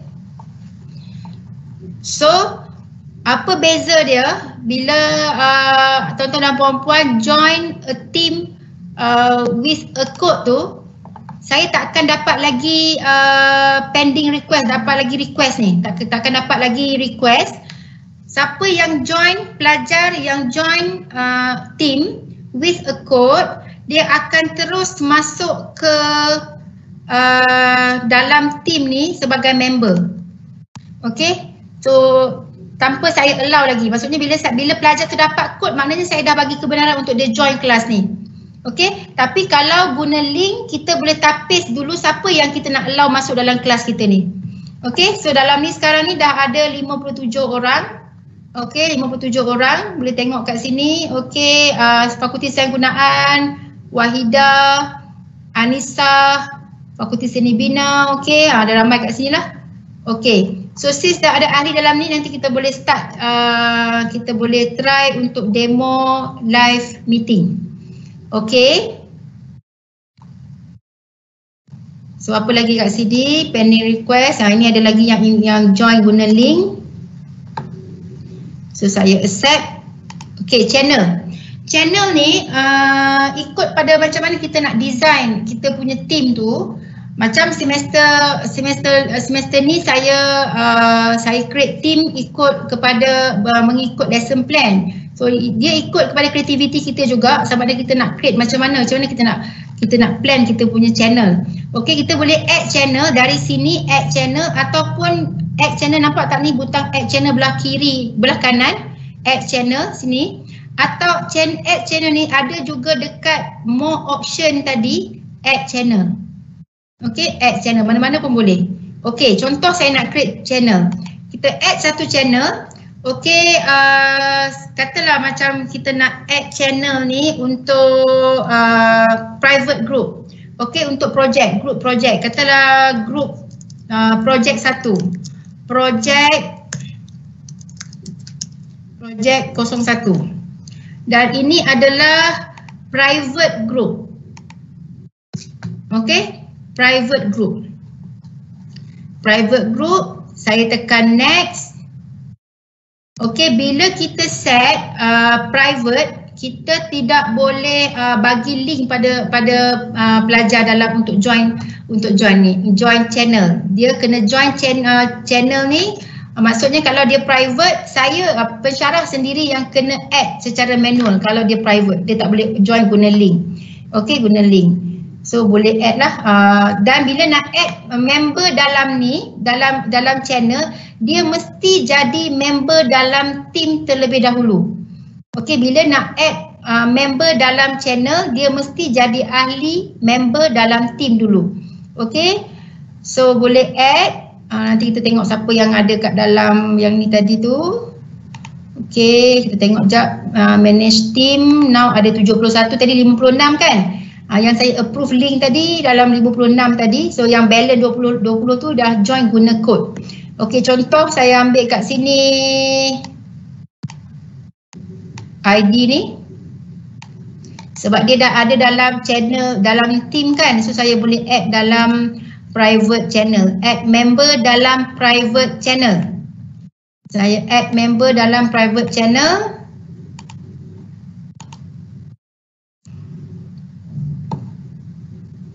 Okey, Cik Wan Samsul Zamani. Okey, contoh saya add seorang lagi. Uh, saya ambil daripada sini. Uh, Puan Siti Rafida. So, saya ambil kat sini. Sekejap. Kalau tahu nama boleh search pakai nama je kan. Tapi uh, sebab tak tahu nama kan. Okay, add channel. Paste.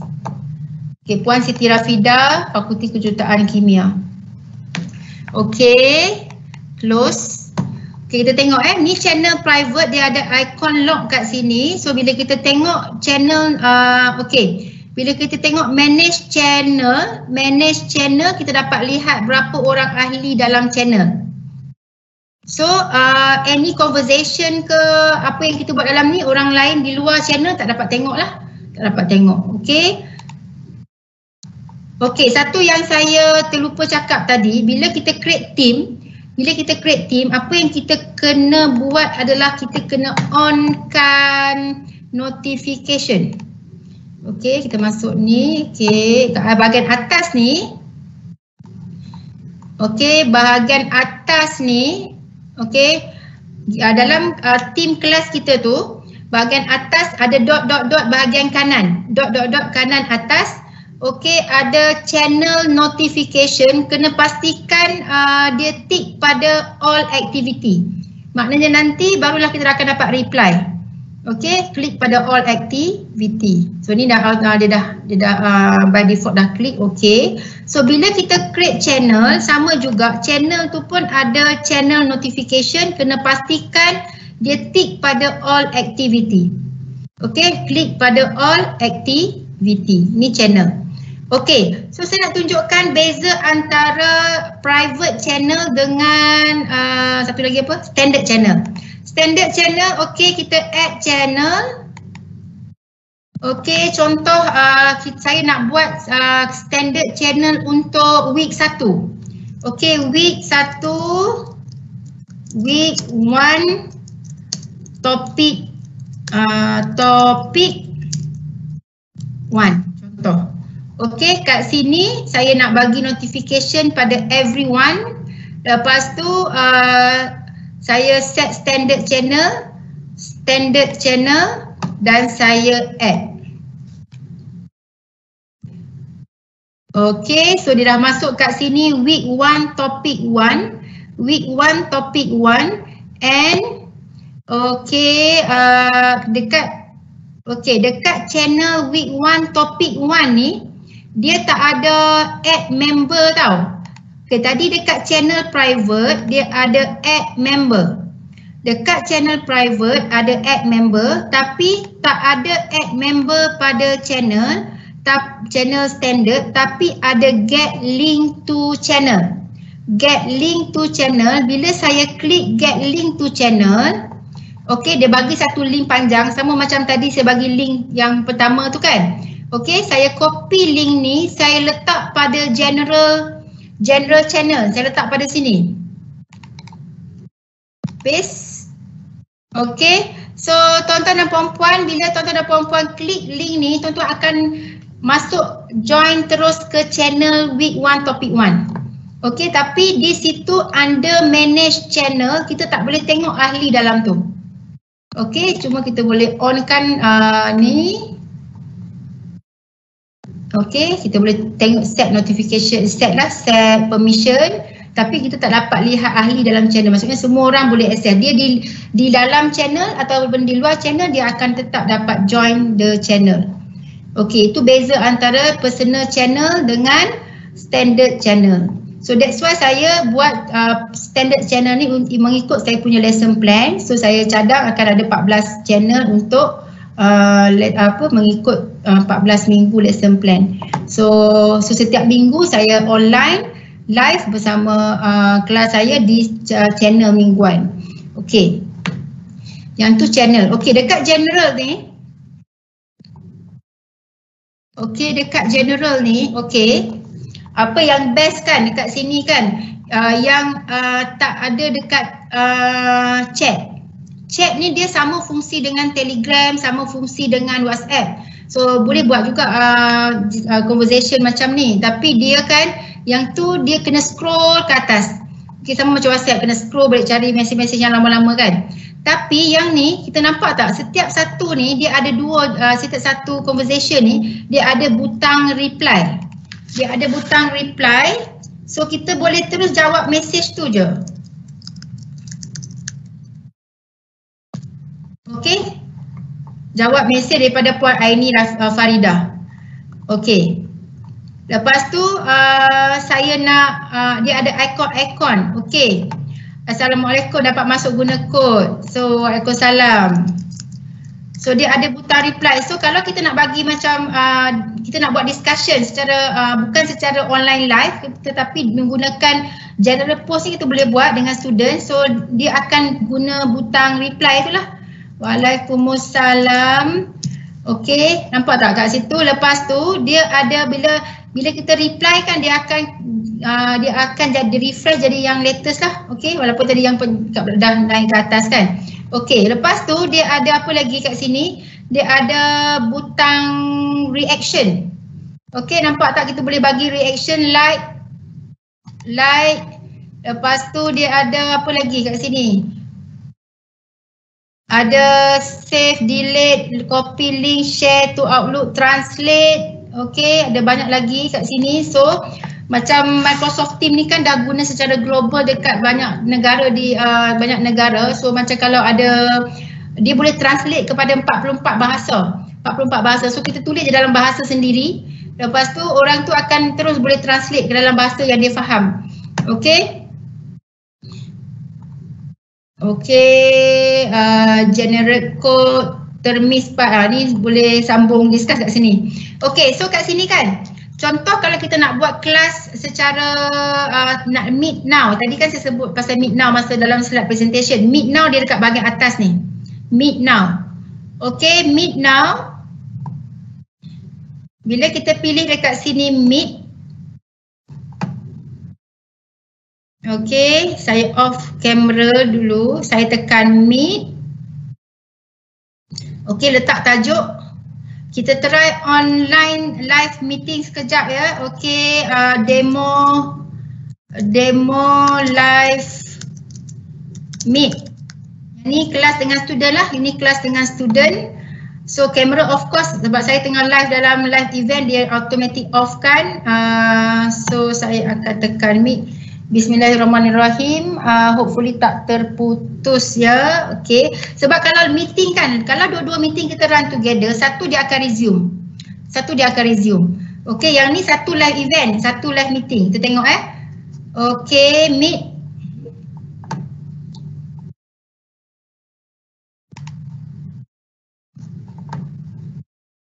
Okey, yang uh, yang mana yang dah join group ni boleh terus tekan join dan akan uh, masuk ke live meeting ni. Boleh onkan kamera. Boleh onkan kamera juga. Okey. So di sini Okey, kenapa saya uh, tekan uh, live meet ni sebab saya nak ada benda yang saya nak highlight bila kita live meeting. Okay, so the bahagian bawah ni ada bar ni. Ada bar ni kita dapat lihat kamera turn on, turn off, mute. Okay, dua-dua ni saya uh, disablekan. So sini ada butang share. Ada share tray ya, share tray. Share tray sini ada pilihan-pilihan. Okey, sama ada kita nak share screen. Uh, kena off sekejap speaker tu. Okey, uh, share screen, share PowerPoint. Okey, kita boleh pilih lah apa yang kita nak share. Microsoft Whiteboard. Okey, ada yang pilih untuk live dengan student, nak mengajarkan, nak menggantikan whiteboard face to face tu, face to face punya whiteboard, physical whiteboard, dia guna Microsoft Whiteboard. Microsoft Whiteboard ni bila kita pilih Microsoft Whiteboard, okay, dia akan appear, okay, boleh pilih sama ada untuk present whiteboard, only you can edit atau collaborate on whiteboard, everyone can edit. Okay, bila saya pilih everyone can edit, so semua boleh tulis ni. Okay, boleh tulis. Tapi nak tulis ni, kena ada pen. Okey, barulah comfortable nak menulis kan. Okey, satu lagi yang saya perlu bagi tahu, so Microsoft Team ni kita boleh live meet guna menggunakan serentak 2 3 gadget. Kita live uh, okey yang pertama daripada desktop, lepas tu kita boleh uh, join juga daripada handphone, kita boleh join juga daripada iPad. So daripada iPad tu kita boleh uh, kita boleh uh, tulis daripada iPad. Okey, uh, so yang kamera pakai yang komputer Uh, lepas tu kalau nak onkan uh, speaker daripada handphone boleh onkan speaker daripada handphone dia boleh buka 2 3 gadget serentak. Okay, so uh, so yang admin punya daripada desktop yang bila kita uh, kita join uh, meeting menggunakan telefon yang kedua yang ketiga semua akan jadi view uh, sebagai member. Okay, yang ni. Cuma satu kelemahan Microsoft uh, whiteboard yang perlu saya highlightkan di sini bila tuan-tuan dan puan-puan record meeting ni dia tak record dia tak akan ada masa bila kita view balik record tu recorded version tu Microsoft Whiteboard ni dia tak tak record sekali. Dia dia akan keluar blank dia akan keluar uh, suara je. Uh, ni gambar ni tak ada ni hilang. Okey? Yang tu kekurangan Microsoft Whiteboard. That is why saya tak pakai Microsoft Whiteboard tapi saya pakai uh, Microsoft OneDrive yang tadi saya pernah tunjukkan. Okey, ha, ni everybody boleh tulis. Boleh type jugalah. Okey, so boleh tutup yang ni. Macam mana nak tutup? Okey, stop presenting. Okey, stop presenting. Apa lagi bawah tu? Okey, yang ni cara biasalah, cara kita nak share. Lepas tu dekat tepi tu ada more action. Ada more action sini, more action. Okey, ini sebab daripada browser, daripada browser ah, kita tak dapat lihat tadi ada soalan tanya pasal macam mana nak tukar background. Dia nak tukar background tu dia ada pada set dia ada pada more option sini tapi pada desktop only. So ini tak dapat lihat lah dia ada kat bahagian sini lah yang tadi saya tunjuk apa uh, together mode semua tu kan. Ha, semua tu ada pada desktop. Ha, kena masuk bahagian sini pada desktop tuan-tuan dan puan-puan baru akan dapat uh, ada dua tiga lagi uh, yang tak dapat dilihat kat sini lah. Okay, boleh start recording. Uh, start recording and recording. Okay, uh, end meeting. Okay. So kat sini ada fungsi raise hand. So boleh boleh angkat tangan nak tanya soalan. Okay, boleh. Uh, so beside kita uh, giving lecture to student, kita juga boleh allow student untuk tanya soalan. Okay, dekat sini. Lepas tu boleh tengok how many participant yang join the live meeting. Okay, so dekat bahagian sini kita ada bahagian setting juga kat sini. Kita don't allow attendees to unmute. Boleh klik manage permission. Okay, manage permission ni bila kita klik dia akan pindahkan kita ke satu uh, browser lain. Okay, di mana kita boleh tukar setting ni. Okay, contoh kita nak buat meeting yang ada daripada external uh, attendees. Okay, external kita boleh tukar people who can bypass the lobby, kita boleh tukar set to everyone. Kalau ada keperluan lah, okay. Ataupun kita hanya allow people in my organisation. Ataupun uh, only me, kita boleh set semua kat sini. Okay, lepas tu always uh, let caller bypass the lobby. Boleh on kan, boleh off kan. Okay, announce uh, uh, announce when caller join or leave. Okay, boleh on kan, who can present, everyone or only me kalau tak kalau student tak pandai nak mute kejap mute kejap unmute kan busy mengganggu sesi kita tu kita boleh set only me can present so student tak boleh unmute kecuali kita yang unmute kan pelajar tu okay Inilah allow attendees to mute unmute. Okey, pindah balik sini. Okey, attendance list ada dekat sini. Attendance list. So sebelum end session, mesti tekan siap-siap download attendance list. Mesti tekan siap-siap download attendance list. Okey, kalau lupa tekan sebelum end session, kita end dulu. Kita dah dapat dah version ni. Okey, saya tekan download attendance list. Kita tengok apa yang kita dapat sekarang. Okey. So, maksudnya bila student dah keluar habis, kita download lah. Kita download attendance list ni saya open file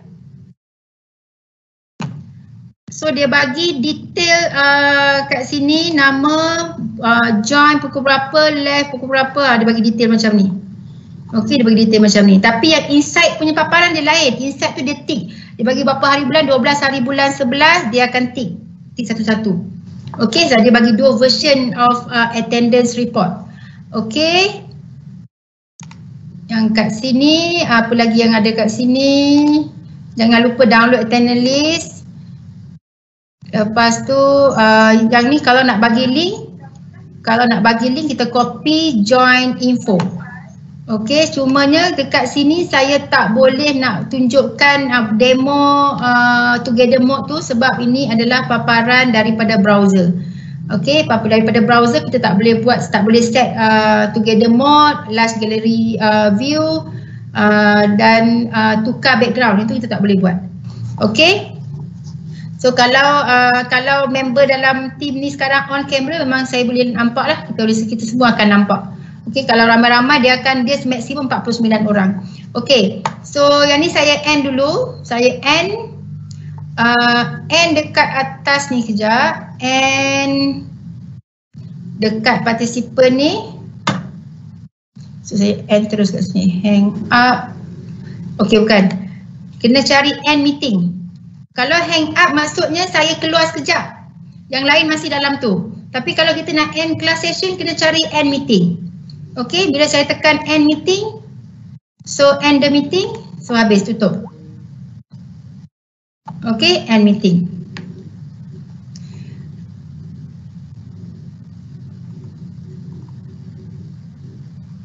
Okay.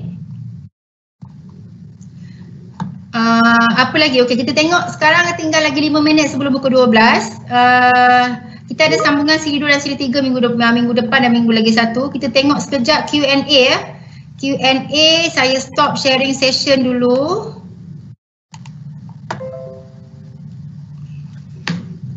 saya nak tengok Q&A.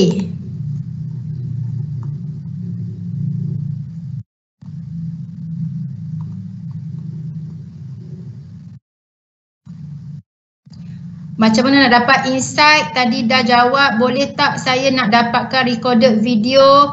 Okay, recorded video. Okay, live event ni, live event, uh, live event, dia bagus ni live event ni. Kalau kita seorang-seorang, kita nak uh, record video untuk kita punya kelas.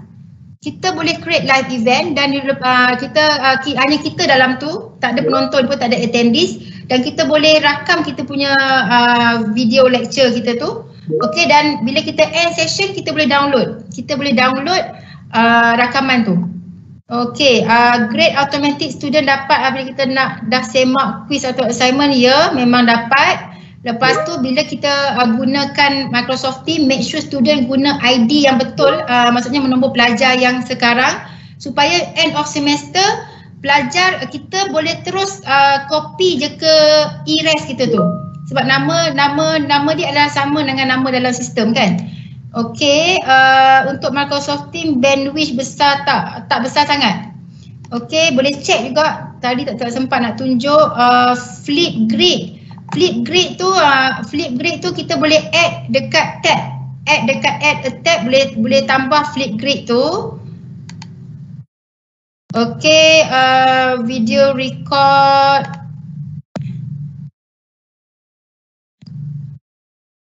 Okay, dekat inside uh, ada merah biru, ada merah biru. Okay, yang merah tu makna dia dia tak hadir kelas. Okey sebab tadi kan saya cerita tadi saya buat satu team untuk subjek. Saya buat uh, ada saya ada empat kelas. So bila saya set meeting, saya set uh, dia dekat channel private tak boleh set uh, dalam kalender.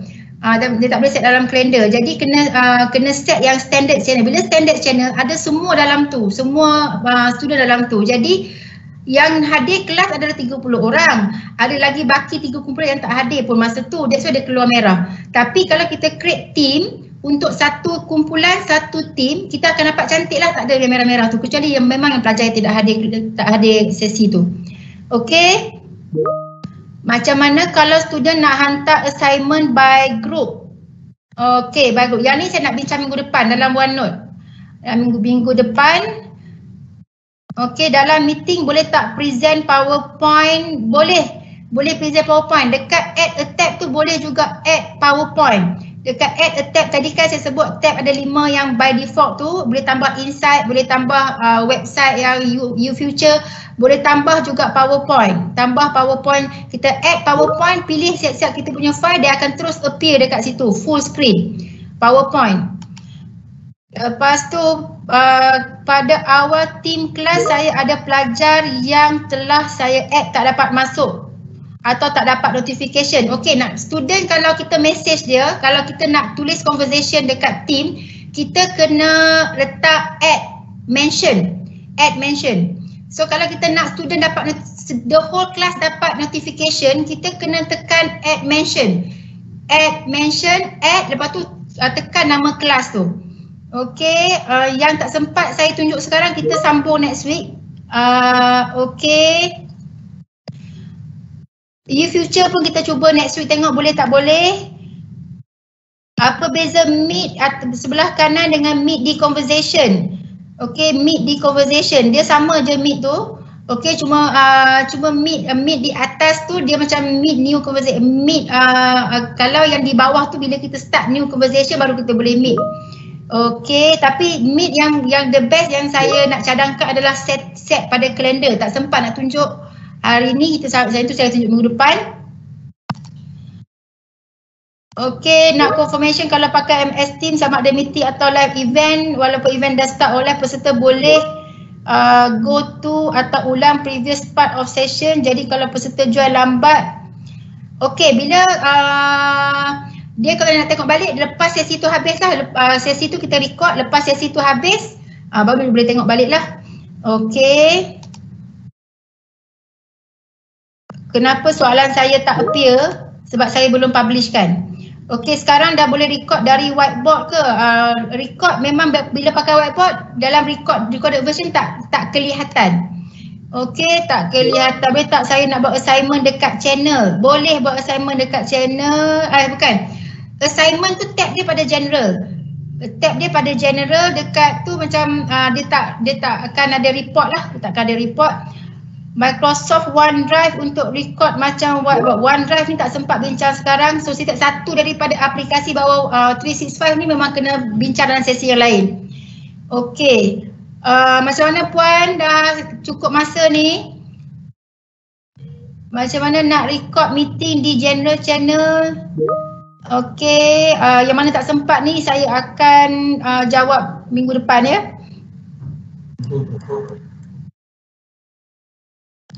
Okey, kalau guna dua tiga gadget berhampiran ganggu sound kena off. Satu je kena on kan, yang lain semua kena off speaker. Off volume, off off speaker. Okey. Oh yang ni, uh, may I know what will happen if UiTM decided not to continue subscribing Microsoft services? Yang ni uh, pejabat Infotech kena jawab. Okay, uh, mohon maaf kerana ada banyak lagi yang saya tak sempat nak share sebab kita kesetukan masa. InsyaAllah yang mana yang belum sempat saya uh, belum sempat tu saya akan continue pada hari Jumaat minggu depan insyaAllah. Uh, so uh, saya serahkan balik kepada puan moderator.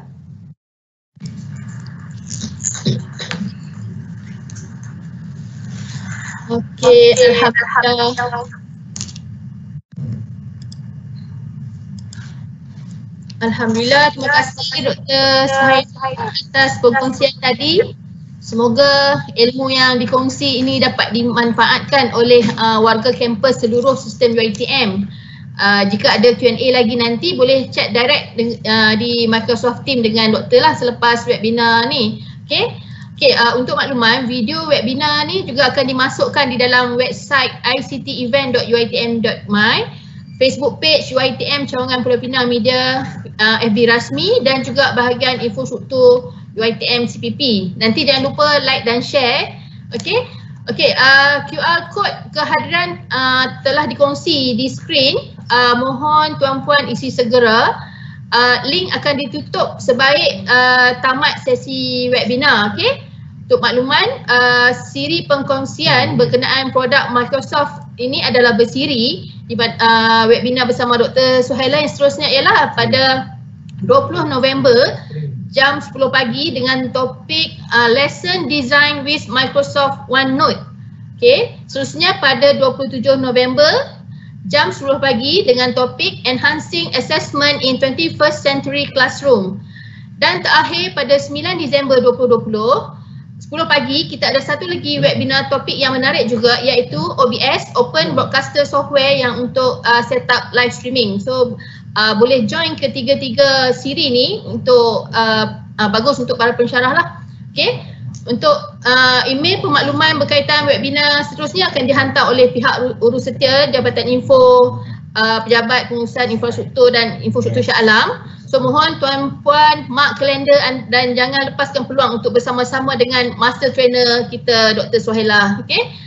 Okey, kalau nak pergi ambil kursus ni di luar memang mahal ya. Jadi kita bawakan khas untuk tuan-puan secara percuma sahaja. Kita belajar sampai pandai. Okey. Akhir sekali, terima kasih kita ucapkan kepada semua peserta webinar yang setia menunggu hingga akhir sesi. Memang tak cukup masa ya, doktor.